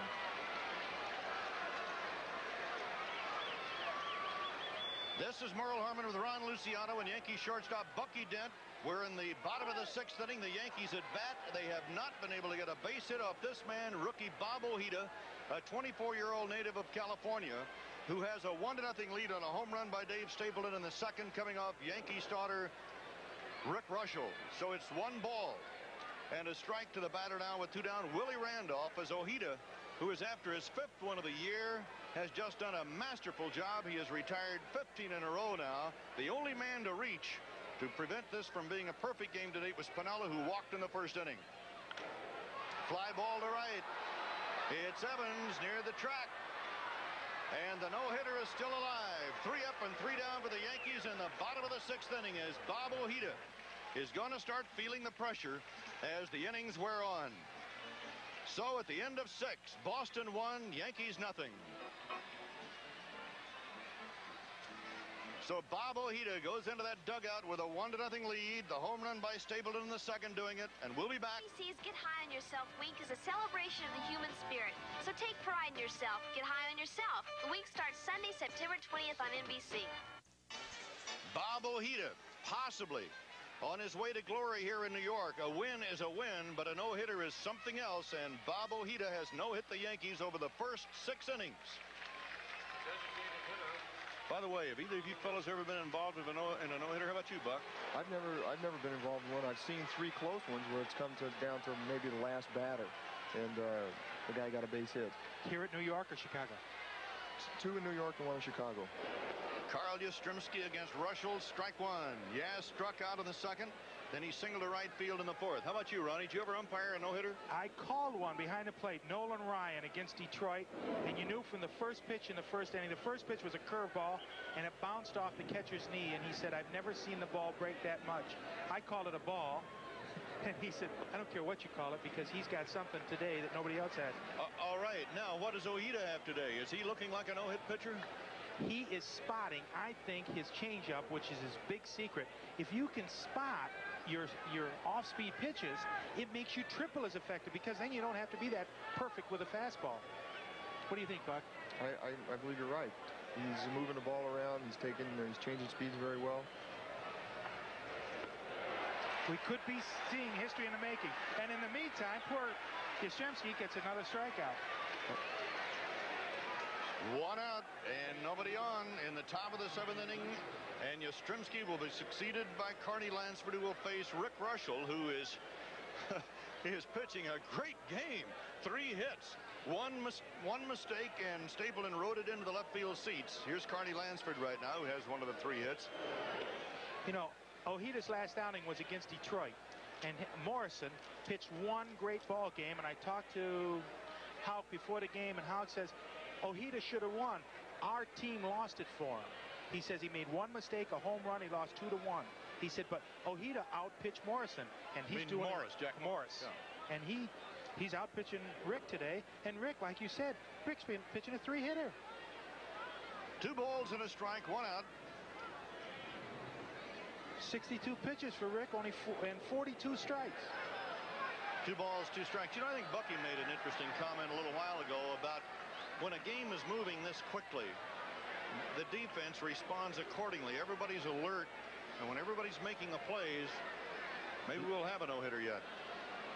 That's both clubs. Foul ball. I mean, every, you, the pace of the game for both clubs is very, very rapid. You stay in the game much better. When uh, when I played in Chicago, Wilbur Wood, Jim Kaat, good guys to play behind because they moved the they moved the ball around. They they got the ball, they got on the mound, and they threw it.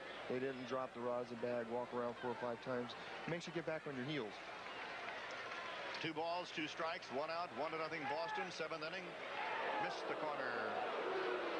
And this guy misses with a pitch. He doesn't miss by much.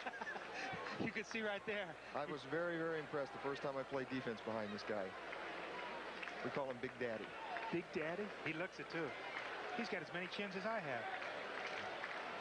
Oh, I don't know about that. I see a couple of extras there. Hopper, short right, might be a problem. Nope, Randolph is there. Willie's one of the best second basemen I've seen going back on pop flies. He Right- cover some ground. Right there, that crown you were talking about earlier did not bother him at all. No, it's only on ground balls.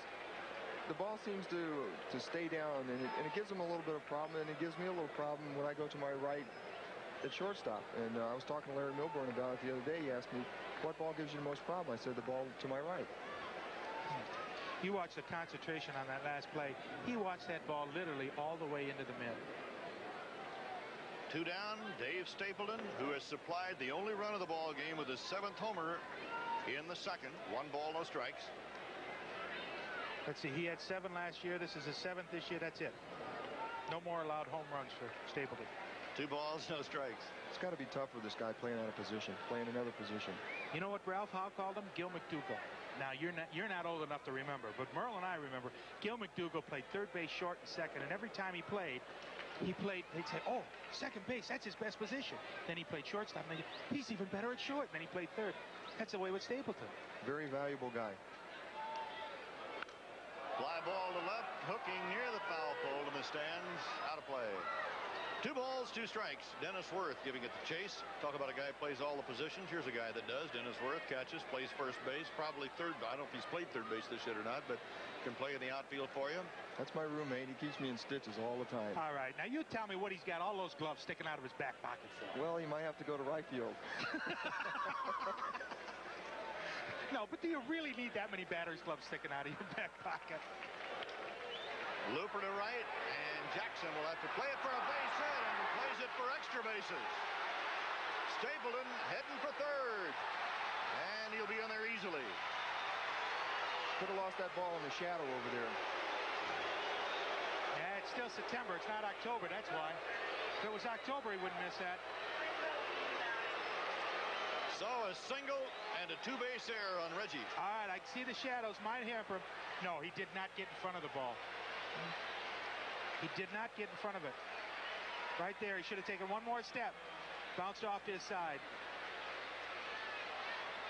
Here's Gedman, the catcher, 0 for 2, has been robbed by Willie Randolph. A line shot that Willie pulled down and then grounded out to Randolph. One ball, no strikes. This could be a very big run right here. Two Uh, down. They're going to give him a hit and uh, two-base Two-base error. Okay. You're scoring at home and hit the two-base error on that. And you're right, Bucky. This could be a very big, very big run. Run. Uh, there's enough pressure trying to pitch the no-hitter, but to try to pitch a one, a shutout against a one-run game, it's even more pressure. Two balls a strike. I'm going to take the opposite side on that. Oh, because maybe he'll relax a little bit if he has more than one run, and then it might cost him. I mean, just for the sake of argument. You're, no, I disagree. There's no way you can relax when you've gone six full innings with a no-hitter. You're not going to relax just because it's a two-run lead instead of a one-run lead. I disagree, but you could be right. You I haven't been all year, but you could be. I know when I'm playing defense. vote, Buck? I know when I'm playing defense that uh, if a guy's pitching a good game and it's one to nothing, I, I try to tell myself, don't give him any more. There's the hit. There's the run. So Stapleton is home. Boston, two to nothing. And the error was very costly as Gedman drives in his 20th run of the year. Stapleton scoring from third base after a single and a two-base error by Reggie Jackson. So Reggie has uh, felt the brunt of the fans here after committing that two-base error, which cost a run. Buck? He's been playing really good defense, so uh, I got to give Reg Reggie a lot of credit. He's uh, done an outstanding job. That ball, you know, could have lost it in the shadow, could have took a bad hop on him. But overall, he's been playing very well since the All-Star break. Rick Miller now. Outside of ball. Now, now I know why the pitchers say they like Gedman. he can get base hits for you when he wants. You know, Walt Hriniak, who's the batting coach for the Red Sox and a good friend of Charlie Lau's, really likes Gedman. He thinks he's going to be some hitter. I don't know. He's catching a no-hitter. Oh, great play by Watson. And what a play by Andre Robertson, the shortstop, to keep the foot on the bag to get the out. So the Red Sox get a run with two hits in Reggie's air and one left on. We go into the bottom of the seventh. Two to nothing Boston. Now another installment of the seventh inning stretch. Spice presents.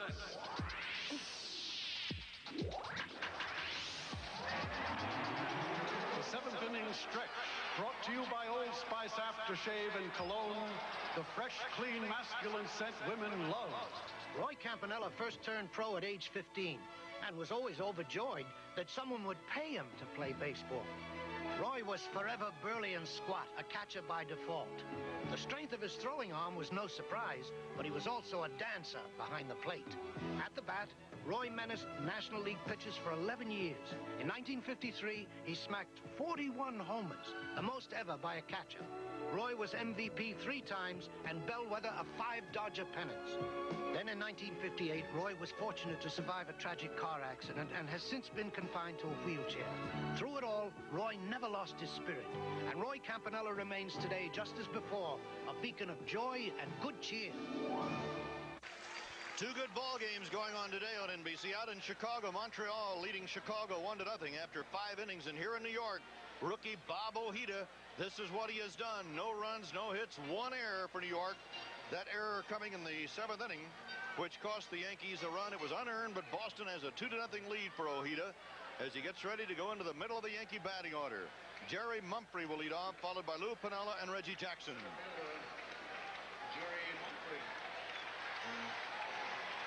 This is Merle Harmon with Ron Luciano and Yankee shortstop Bucky Dent at Yankee Stadium, New York. The bottom line of the Yankees tells the story. Bob Ojeda, the rookie of Boston, is pitching a no-hitter against the Yankees. He is leading two to nothing and leading off for New York in the bottom of the seventh. Jerry Mumphrey, then Lou Piniella and Reggie Jackson. Pop foul out of play, first base side. The tension has started to mount. In fact, it started back in the fifth inning with the stuff that Ojeda has displayed today. One gets the idea that he definitely could go all the way in this one and keep goose eggs on the board for New York. We've been talking about it. He's spotting every pitch he throws. He knows exactly where it's going, and he's got complete control. He's only thrown 73 pitches, 50 for strikes. Strike two at the knees. Mumphrey is struck out and flied to right field.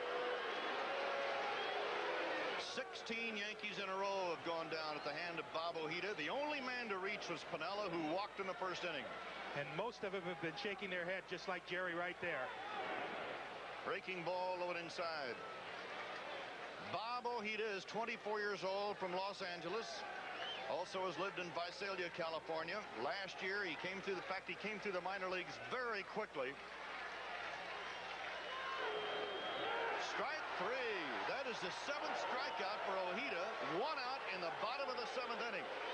Ralph Houk says that Ojeda is one of the fine prospects to come, come up in a long, long time. He is one of many in the Boston Red Sox organization, he feels. Ojeda has won four and lost two. His earned run average for this year is 1.50, which tells you how effective he has really been. Yes, he's been very effective. He put on 20 pounds over the winter, worked out with a Nautilus, and what it did, it beefed up his fastball. So now his great, great changeup looks even better because he spots it like he did right there, and he can zip that fastball by you, makes his off-speed pitches that much more effective. Lou Piniella, who was on base with a walk in the first, is the only Yankee to reach against this young fellow. Breaking ball going for the corner, and he missed it, it's one ball and one strike. Bucky Dent, the Yankee shortstop, is out for the year. His right hand is in the cast, and he is up here with us, watching and probably feeling, if I were only down there, I'd like to take a few shots at this guy. And it's two balls and a strike. Reggie Jackson is waiting to bat next. He has struck out twice today. He committed a costly error in the seventh inning. After a single by Stapleton, the ball got by Reggie. Stapleton wound up at third, scored on Gedman's single. Stapleton homered in the second for the other Boston run. Foul ball, two and two. What about it, Buck? Would you like to be down there taking a shot at this guy? I would love it. I would love it. Let me ask you a question, Ron. When a guy's pitching so well like this, does the plate start to move a little bit with an umpire behind the plate? No, no. What happens, rather than the state plate starts to move, what happens is you get involved in it, and you start to call so many strikes. Like we said before, he's thrown 70-some pitches, 50 of them strikes. And That is their easy ground ball. Hoffman to Stapleton, two down. The no-hitter continues, and he's got seven outs to go. And now he's going to face Reggie Jackson. And he has fanned Reggie twice, and the fans are on Reggie because of the two-base error, which set up the second Boston run of the last inning. So you get involved, but as an umpire, what happens is you start to throw strikes, you start to raise your hand almost automatic. Mm-hmm. And he's going to get a little wider plate because you're used to calling strikes. Also, we feel that tension just as much as any ball player. Just like up here in the announcing booth, the three of us have wet, sweaty palms. One ball and no strikes. Reggie Jackson has had a great second half. He was hitting 199 at the strike break. Since that time, he has upped his batting average 42 points and has become Mr. September. He has been hot. He's not waiting till October this year. Off the end of the bat, and it's one ball and one strike. But nevertheless, regardless of what Reggie has done here in New York, as far as playing well in the outfield or getting the key base hit, all it takes is one bobble or one boo-boo, and the crowd's right back on him again. And I'm sure Reggie's aware of the mistake that he's made, and he's going to bear down. He's the guy that uh, he's got fire in his eyes right now. One ball, one strike. Two to nothing Boston. Bottom of the seventh. Strike two to Jackson. You saw it right there, the old enthusiasm after the pitch, that little spin he does at the end. He's really up, not only because it's Boston, not only because he had that costly error, we've got a no-hitter going. He's got everything going for him. The sweat's pouring down. You can feel it in the air. Bob Ojeda. Two down, one and two to Jackson.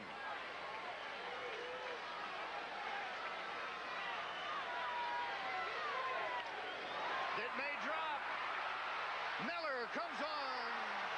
The no-hitter is still going, and look at the reaction on Ojeda. You think he doesn't know he's got a no-hitter going?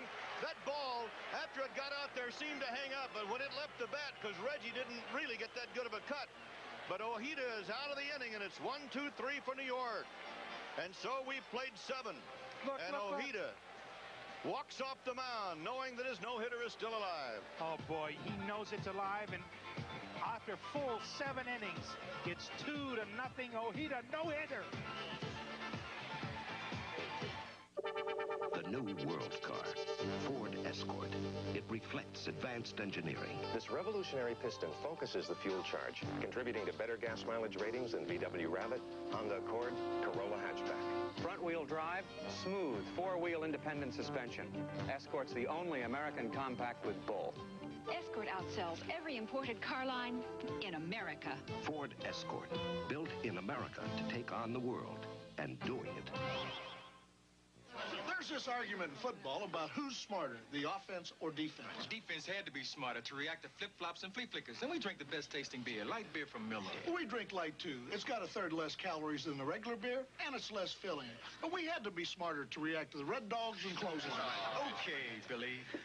The flanker does it down and out. The weak side linebacker blitzes. What's the nose guard do, huh? Huh? I don't know. Defense rests. Light beer from Miller. Everything you always wanted in a beer, and less. Bottom of the ninth, bases full, 3-2 pitch. Radio!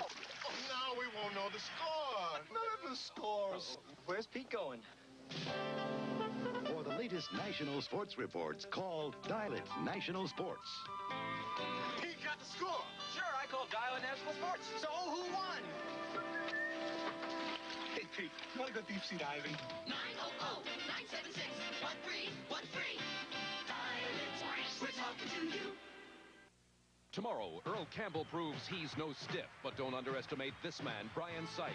He can hit the end zone all day. Houston versus Cleveland, what a battle. Or the New England Patriots try to ground the NFC champion Philadelphia Eagles. Check local listings. That's Bob Ojeda, who is really raising some eyebrows in New York today as Glenn Hoffman leads off for Boston in the top of the eighth inning. Ojeda has no hit the Yankees over the first seven innings. He has retired the last 19 batters. The only man to reach has been Lou Piniella, who walked in the first. That's Andre Robertson on the run, and he's out at first. One gone to the eighth inning. He did something wrong there, Bucky. What'd he do? Well, he threw the ball off balance. I thought he could took another step and got his feet up under him. That's where you make a lot of mistakes. Yeah, right there. Watch it now. now. get get yourself set. You didn't have to throw the ball off balance. That's where a young player makes a lot of mistakes. Right there. We both stood here shaking our heads saying, no, no, no, don't do that. Jerry Remy, the second baseman leadoff man, 0 for 3 against Rick Reuschel, who has pitched a five-hitter, has given up two runs, one unearned. But when a guy is throwing a no-hitter against you and has a couple of runs to back him up, it can be a long afternoon, noon, even though you pitch as well as Reuschel has pitched today. No balls, two strikes. One out. Again, Robertson. A cannon to first, two down, and that'll bring up Evans. You know, in a situation like this, I guess, you start looking at the Yankee batting order for the eighth and ninth innings. In fact, in the eighth inning, you will see Watson, Nettles, and, and Foote. And following, it'll be Werth, Robertson. Could we be getting into a Dave Winfield pinch hit possibility, Bucky? You'll be looking for the big guy come out of the bench. He's just, uh, I think they're just giving him a couple days off because he had a sore shoulder, but if they need him, he'll be in there. Dwight Evans, 0 for 3, is grounded out twice and flying to center. And there's Robertson, the busy man at short. One, two, three in the eighth inning. Three assists for the rookie shortstop. And the Red Sox go quickly and quietly in the top of the eighth inning. Now the Yankees come to bat at the bottom of the eighth without a hit. Watson, Nettles, and Foote coming up. Do-it-yourselfers, get dirty. Get gritty, grimy, greasy, slimy, dirty, dusty, dungy, grungy. Get dirty. We'll lava you clean. Lava with pumice digs in, powers out tough dirt. Cleaner, faster, better than any leading bar soap. So go get messy, mussy, gloppy, sloppy, filthy, nasty, ugly, dirty. Get dirty. We'll lava you clean. Get dirty. Rub it, rub it. We'll lava you clean. Get dirty. Rub it, rub it. We'll Look at my hair. It's so dirty and oily it won't bounce. So I wash it a lot. But look what can happen. Dry, flyaway hair that won't behave. So here's Pert. This one shampoo makes my hair bounce and behave. Pert works two ways.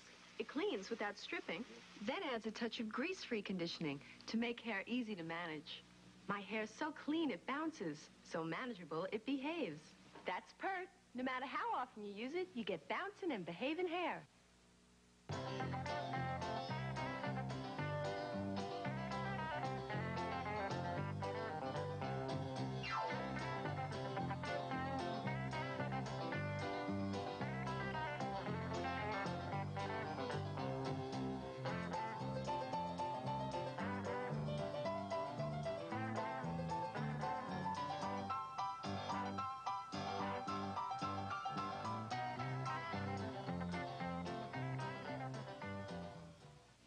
Preceding message was furnished by Major League Baseball.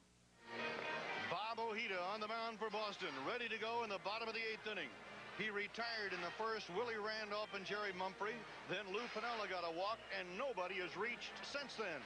As Ojeda goes sailing into the bottom of the eighth inning with a two-run lead facing Bob Watson, who is 0 for 2 today. In fact, so far, there have been a lot of opers. Maybe it's better I'm sitting up here. Oh. Watson has flied to center and flied to right.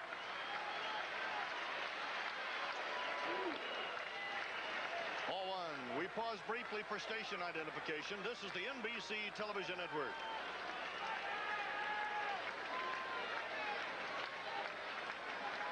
Merle Harmon, Ron Luciano, Bucky Dent at Yankee Stadium in New York, where Boston leads the Yankees two to nothing. It's a ball and a strike count to Bob Watson with Nettles to follow and then Foote to come up. Ojeda has cut down 19 Yankees in a row. Fastball upstairs. Two balls and a strike. That's the first batter he's gone behind since the fourth inning. You know what happens too in a lot of in a situation like this, the batters start pressing because they want to get a base hit so bad that they start swinging at bad pitches. How about Ojeda? You think he's pressing? Young kid, Strike two.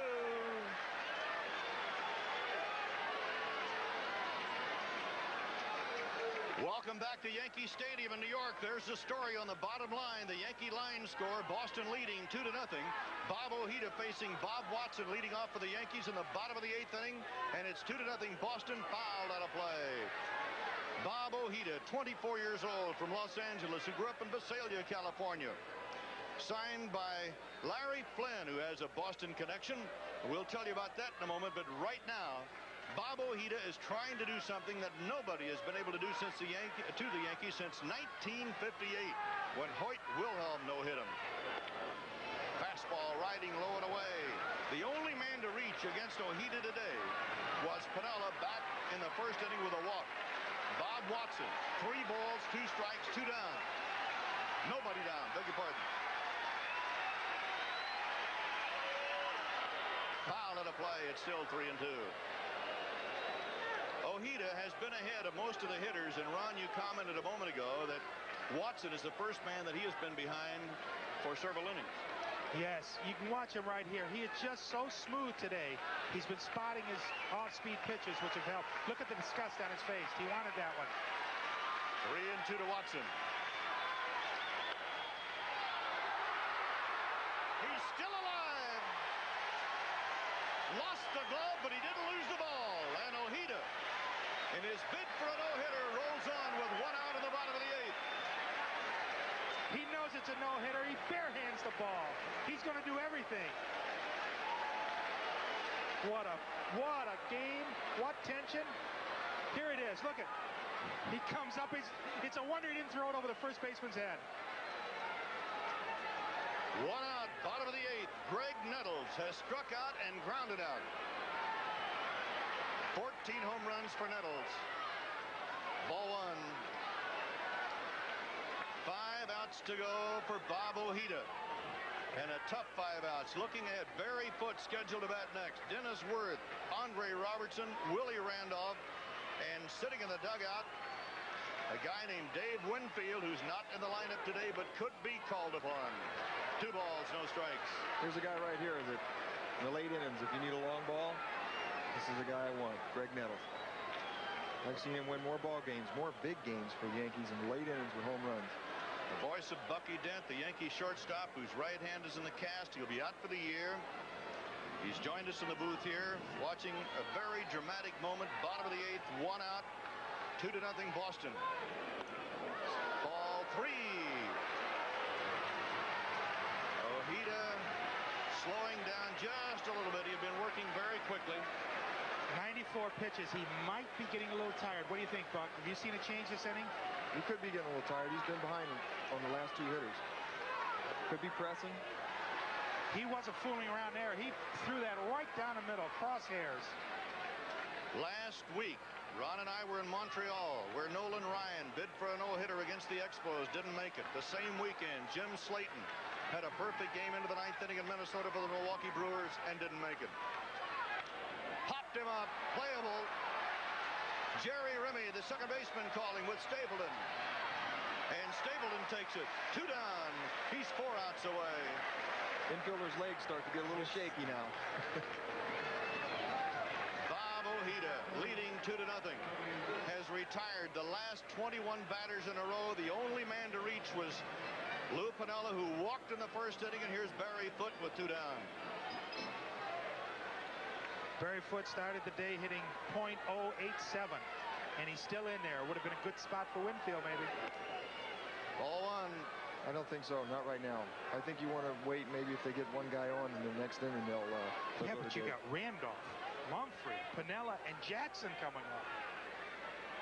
One ball and no strikes. Barry Foote against Ojeda. And he wants to think about it a little bit. I forgot about your famous guy, Andre Robertson. That's right. Ralph Houk, the manager of the Red Sox, really likes this kid. He pitched very well his last time out. His ERA is under two. Two balls, no strikes. Now he has gone behind the last two hitters. Two balls, no strikes. And it looks as though Ojeda is struggling here now. Bottom of the eighth inning with two down. Two balls, no strikes to Barry Foote. To pitch a no-hitter, you not only have to be good, you have to be terribly lucky. Foul ball, two balls and a strike. He was lucky. He popped up Nettles. He was behind on Watson, and he got him. He went behind on Barry Foote now. Can he get him? You've got to be lucky to pitch a no-hitter. Can the luck hold out? Two balls, a strike. Two down. Strike two at the knees. Carney Lansford had a fine fielding play at third base to keep the no-hitter going. But other than that, it's been Ojeda. Carney had the only tough play. He's ready, just in case. Two balls, two strikes. Fly ball to right. That's Evans. Three outs to go for Ojeda. He's got a no-hitter going into the ninth inning and leading by a score of two to nothing. This 24-year-old youngster was signed out as a free agent out of the College of Sequoia in California, 1978. There's the story.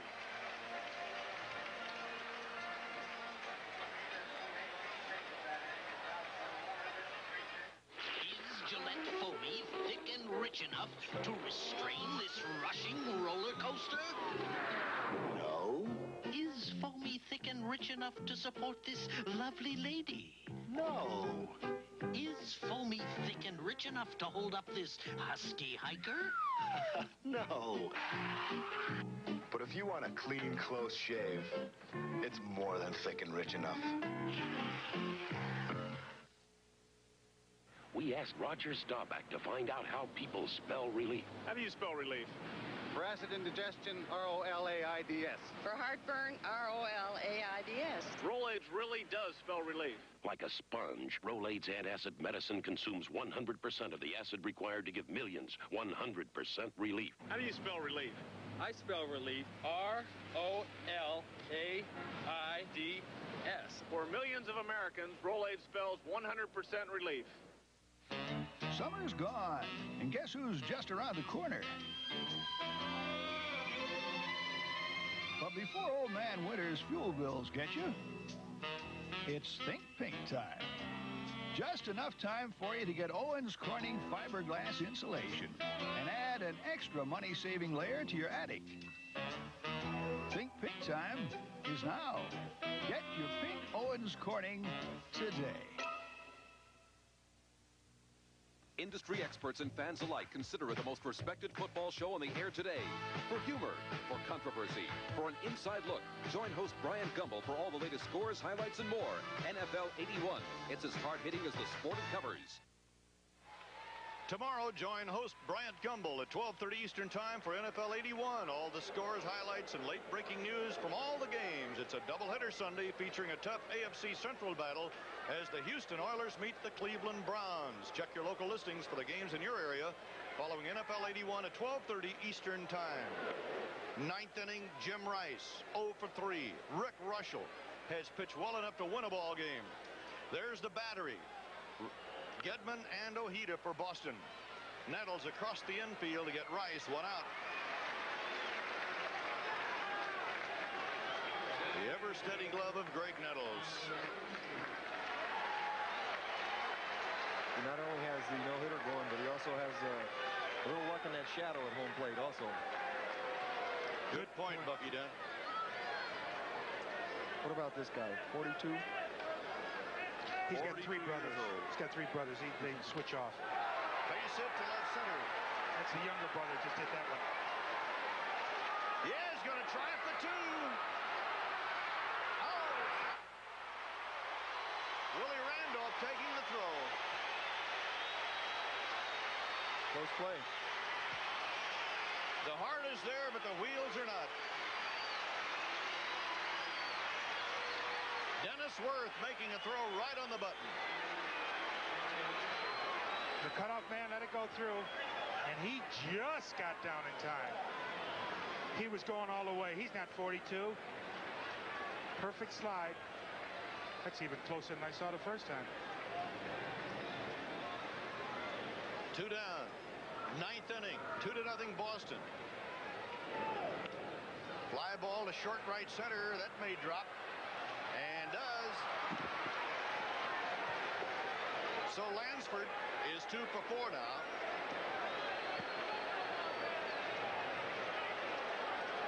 Carney has two of the seven hits given up by Rick Reuschel.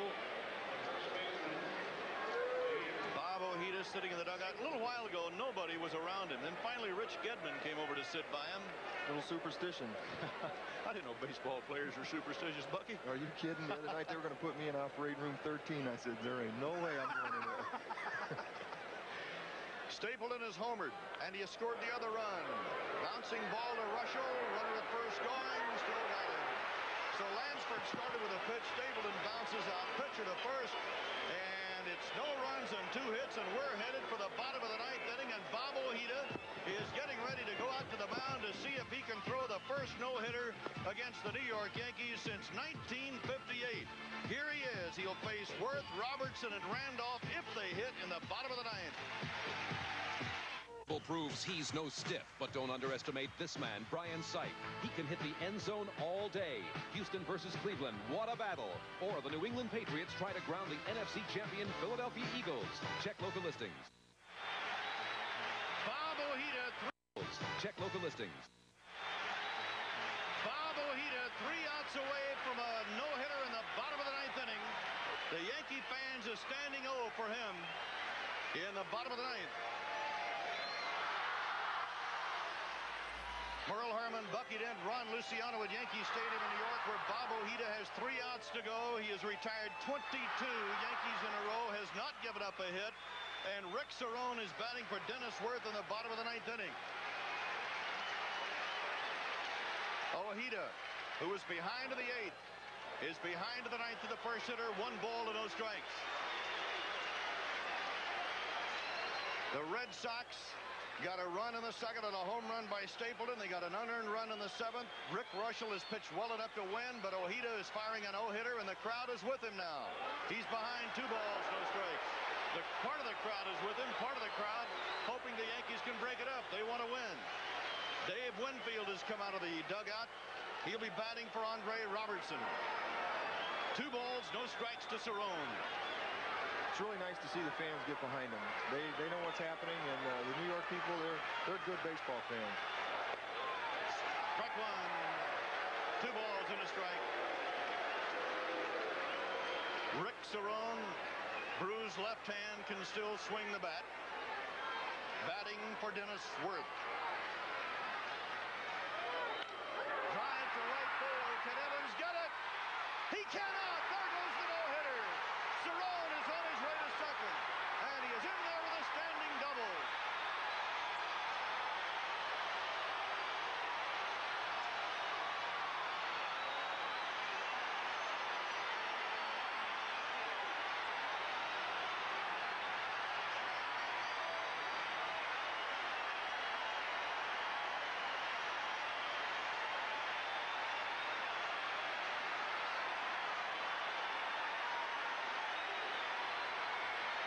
The thoughts going through the mind of Bob Ojeda as he watched Evans try to get this ball. Just missed it. Great play. Great try. The no-hitter goes in the bottom of the ninth inning. You'd think he did not know about the no-hitter and hoping, hoping, hoping, and Evans couldn't quite reach it. So a bit of history in the life of Bob Ojeda. Now the story becomes win the ball game. Dwight Evans gave it a great shot. He's a tremendous defensive outfielder. He just couldn't quite reach it. That's the first hit of Ojeda, who's got a 2 to nothing lead. And Winfield comes up as a pinch hitter, and there's the story in New York.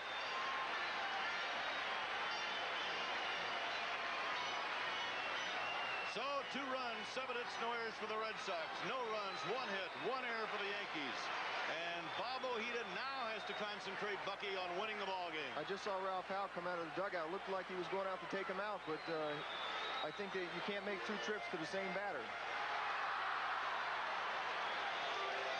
So Dave Winfield with 57 runs batted in, one of the leaders in the American League, has a sore shoulder. That's why he did not start today. Two to nothing Boston. Ball one.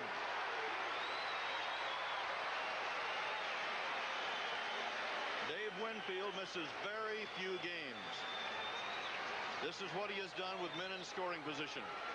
352. And he's got one in scoring position now. Rick Cerone at second with a leadoff double to break up the no-hitter. Just missed by Dwight Evans in right field. That ball that Cerone hit. Off speed, and he got it in there for a strike. It's one and one. He's battling. You wonder how a guy can get back up when he was so aware of the no-hitter. You saw his reaction when the ball went by Evans' glove in right field. This is where it becomes tough for Ralph out too. Do you leave him in, or you do, or do you go and get him? One ball and a strike. Popped him foul, two. Last night, Bucky, we saw Dave Righetti pitching so well with 11 strikeouts. And Bob Lemon, as we look at Ralph Houk study the batting order with pitching coach Lee Stange, we saw Bob Lemon take Righetti out of the game. He took him out. He said last night that when a guy pitches that well, you never give him a chance to lose the ball game. One ball, two strikes. Especially when you have a guy like the animal in the bullpen, Rich Gossage. Half of the ninth inning. Boston two, New York nothing.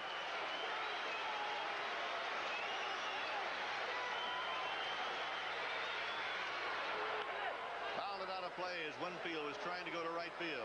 I saw Nolan Ryan. Same thing happened to him. He was pitching a no-hitter for about eight and two-thirds against the White Sox when I was when I was a rookie over there, and uh, he got he gave up a base hit, and then he wound up losing the ball game two to one.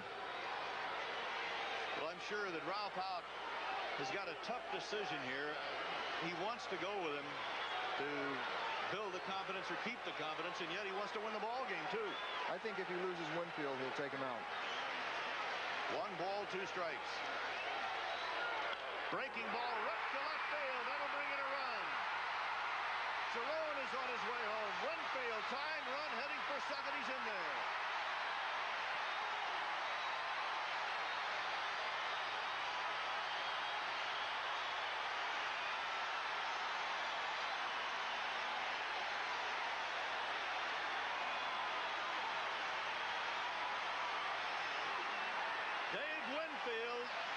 Back-to-back doubles.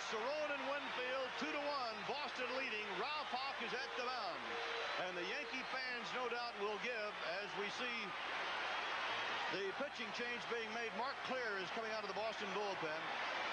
I'm sure the Yankee fans, who are some of the finest, will recognize the tremendous job that Bob Ojeda, the rookie from Los Angeles and Visalia, California, will recognize the job he has done. No doubt, heartbroken, and yet he wants that win because it's not only something that's very personal to him, a win is a win, but the Red Sox need a win. They're still in this race in the Eastern Division. Plus to beat the Yankees. It's always there.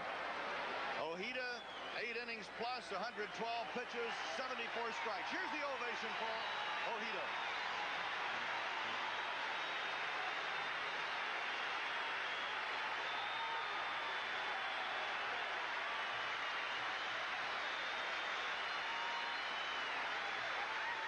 Is too good. Willie Randolph at the plate against Mark Clear, bottom of the ninth, tying run at second, and it's ball one outside. Mark Clear, 25 years old from Los Angeles. They say about Clear, he does with a curve what Gossage does with a fastball. He's the best in the Boston bullpen. Eight and one for the year. Ralph Houk has removed Bob Ojeda. Going for the win. Willie Randolph needs to move the runner to third. Let's see what he does. Foul ball, one ball and a strike. Last half of the ninth inning, nobody out. Rick Cerone, who pinch hit for Werth, broke up the no-hitter, double to right field. Dave Winfield batting for Robertson, double to left field to get the run in. He's at second base with Willie Randolph at the plate. Boston leading by a score of two to one. Tough spot for Willie right here. He's got to move that runner over.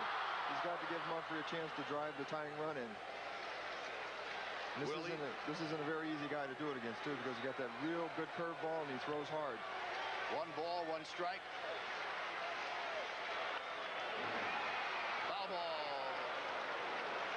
Now, does he try to go to right field, inside out, or whatever he has to do? He's got to try to hit the ball on the ground to the right side now. He's got to give himself up. If you were clear, how would you pitch him in this situation? If you were the batter, what would you be looking for? If I was a pitcher, I'd try to I'd try to jam him. I wouldn't want him to hit the ball to the right side of the diamond. Can he go inside out? How well does he do it? Willie's a very good inside-out hitter. He can hit the ball over there. But against Clear, it's a little tough because he has a good breaking ball and he has that hard riding fastball. One ball, two strikes, nobody out. Winfield tying run at second. Bottom of the ninth, two to one Boston. Strike three. Squared to butt, took the pitch. Don Denkinger, the plate umpire, punched him out, and Willie doesn't think so. Looked like a pretty tough pitch. Good pitch.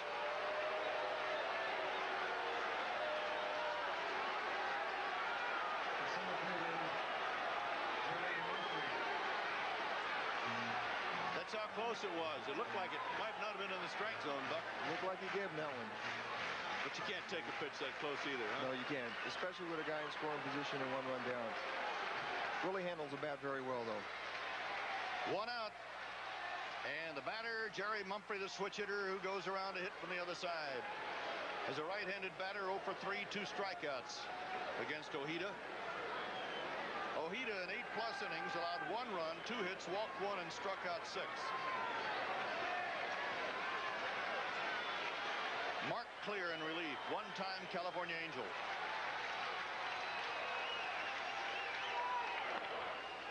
Fastball outside, one ball a strike.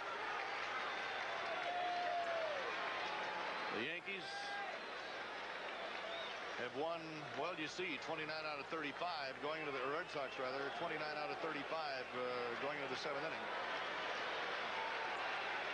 The Yankees have won a ton with a lead in the seventh. One ball, two strikes. Good breaking ball. Bob Lemon, it would appear, is going to pinch hit for Piniella. One ball and two strikes. Got him with a heater. So Clear has fanned the first two batters, and now Oscar Gamble will be coming out of the Yankee dugout as Mumphrey goes back in.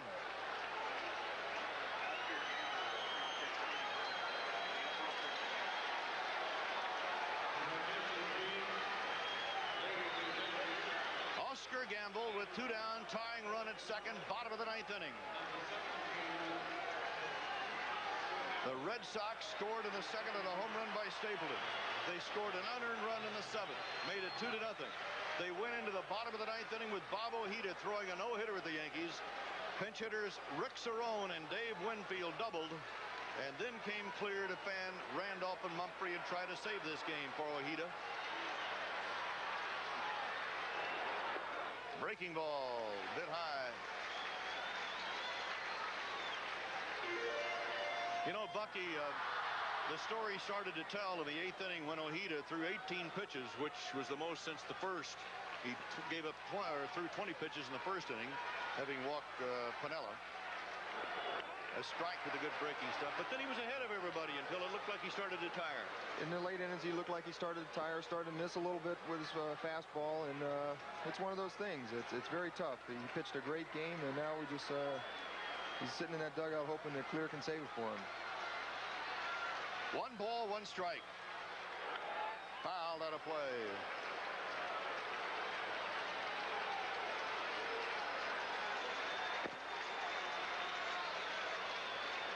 One ball, two strikes, two down.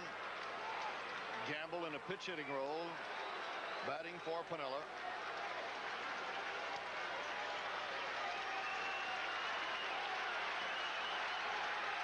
This could be it.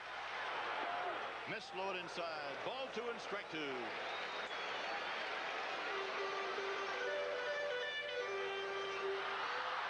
Last half of the ninth inning. Boston two, New York one.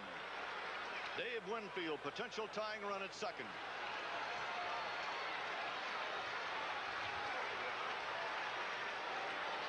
Breaks a little tension or adds to it. I'm not sure which. Well, I know Oscar's stepping out thinking, now I've got to just put the ball in play now.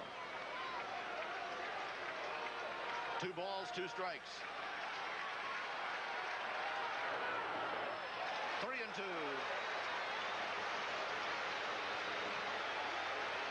If, if Gamble gets aboard, guess who's coming up next? Reggie. And this is the situation that he actually loved.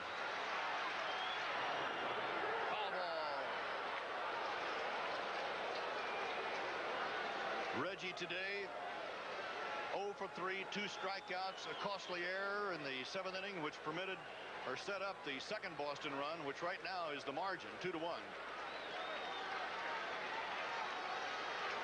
Bob Lemon never changes expression over in that dugout. Never gets excited. Three and two. The tying run at second, the winning run at first. And Mark Clear will have to face Jackson.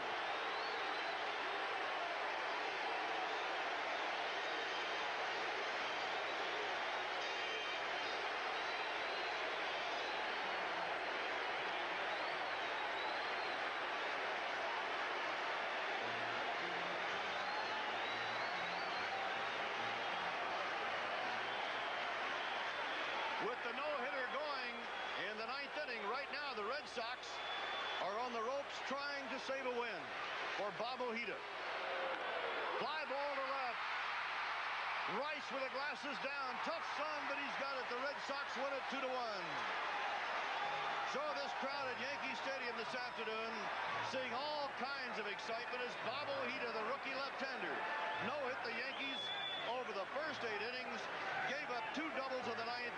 Then Mark Clear came out of the bullpen to save it for him, Boston evens this series. The Red Sox win this one by a score of two to one, and we'll be back from Yankee Stadium in New York, where the action has been today, right after this message. In the air today for humor, for controversy, for an inside look. Join host Bryant Gumbel for all the latest scores, highlights, and more. We've got it all. Don't miss the most incredible upsets. Action off the field, the wildest fans, some down-home music, players turned actors, and the battle of the big boys. NFL 81. It's as hard-hitting as the sport it covers. Score. Two runs, seven hits, no errors. Boston Yankees one, two, and one. And Ron Luciano is down in the dugout. Ronnie? Merle, one of the Merle, one of the greatest things ever. Ojeda came off, and I, tears coming out of his eyes as he came off the ball uh, field. He walked into the dugout, took his glove, threw it against it, and said, I tried. Down the stairs and in, and he's got ice on his arm right now, and he's in the dressing room. I tried. Can you believe it?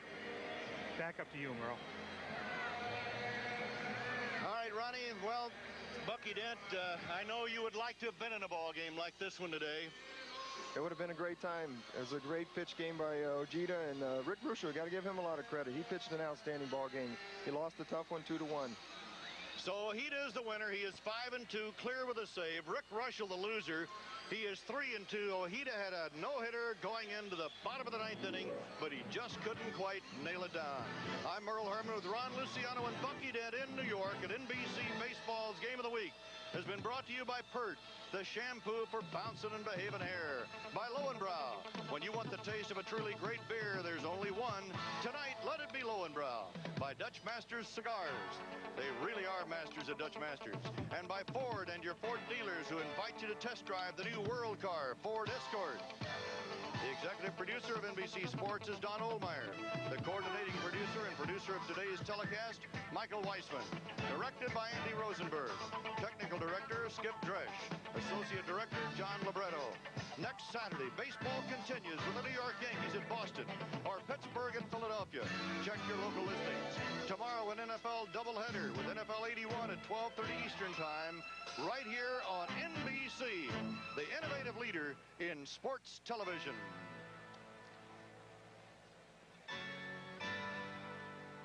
A promotional fee has been paid to NBC by United Airlines. United serves more of this land than any other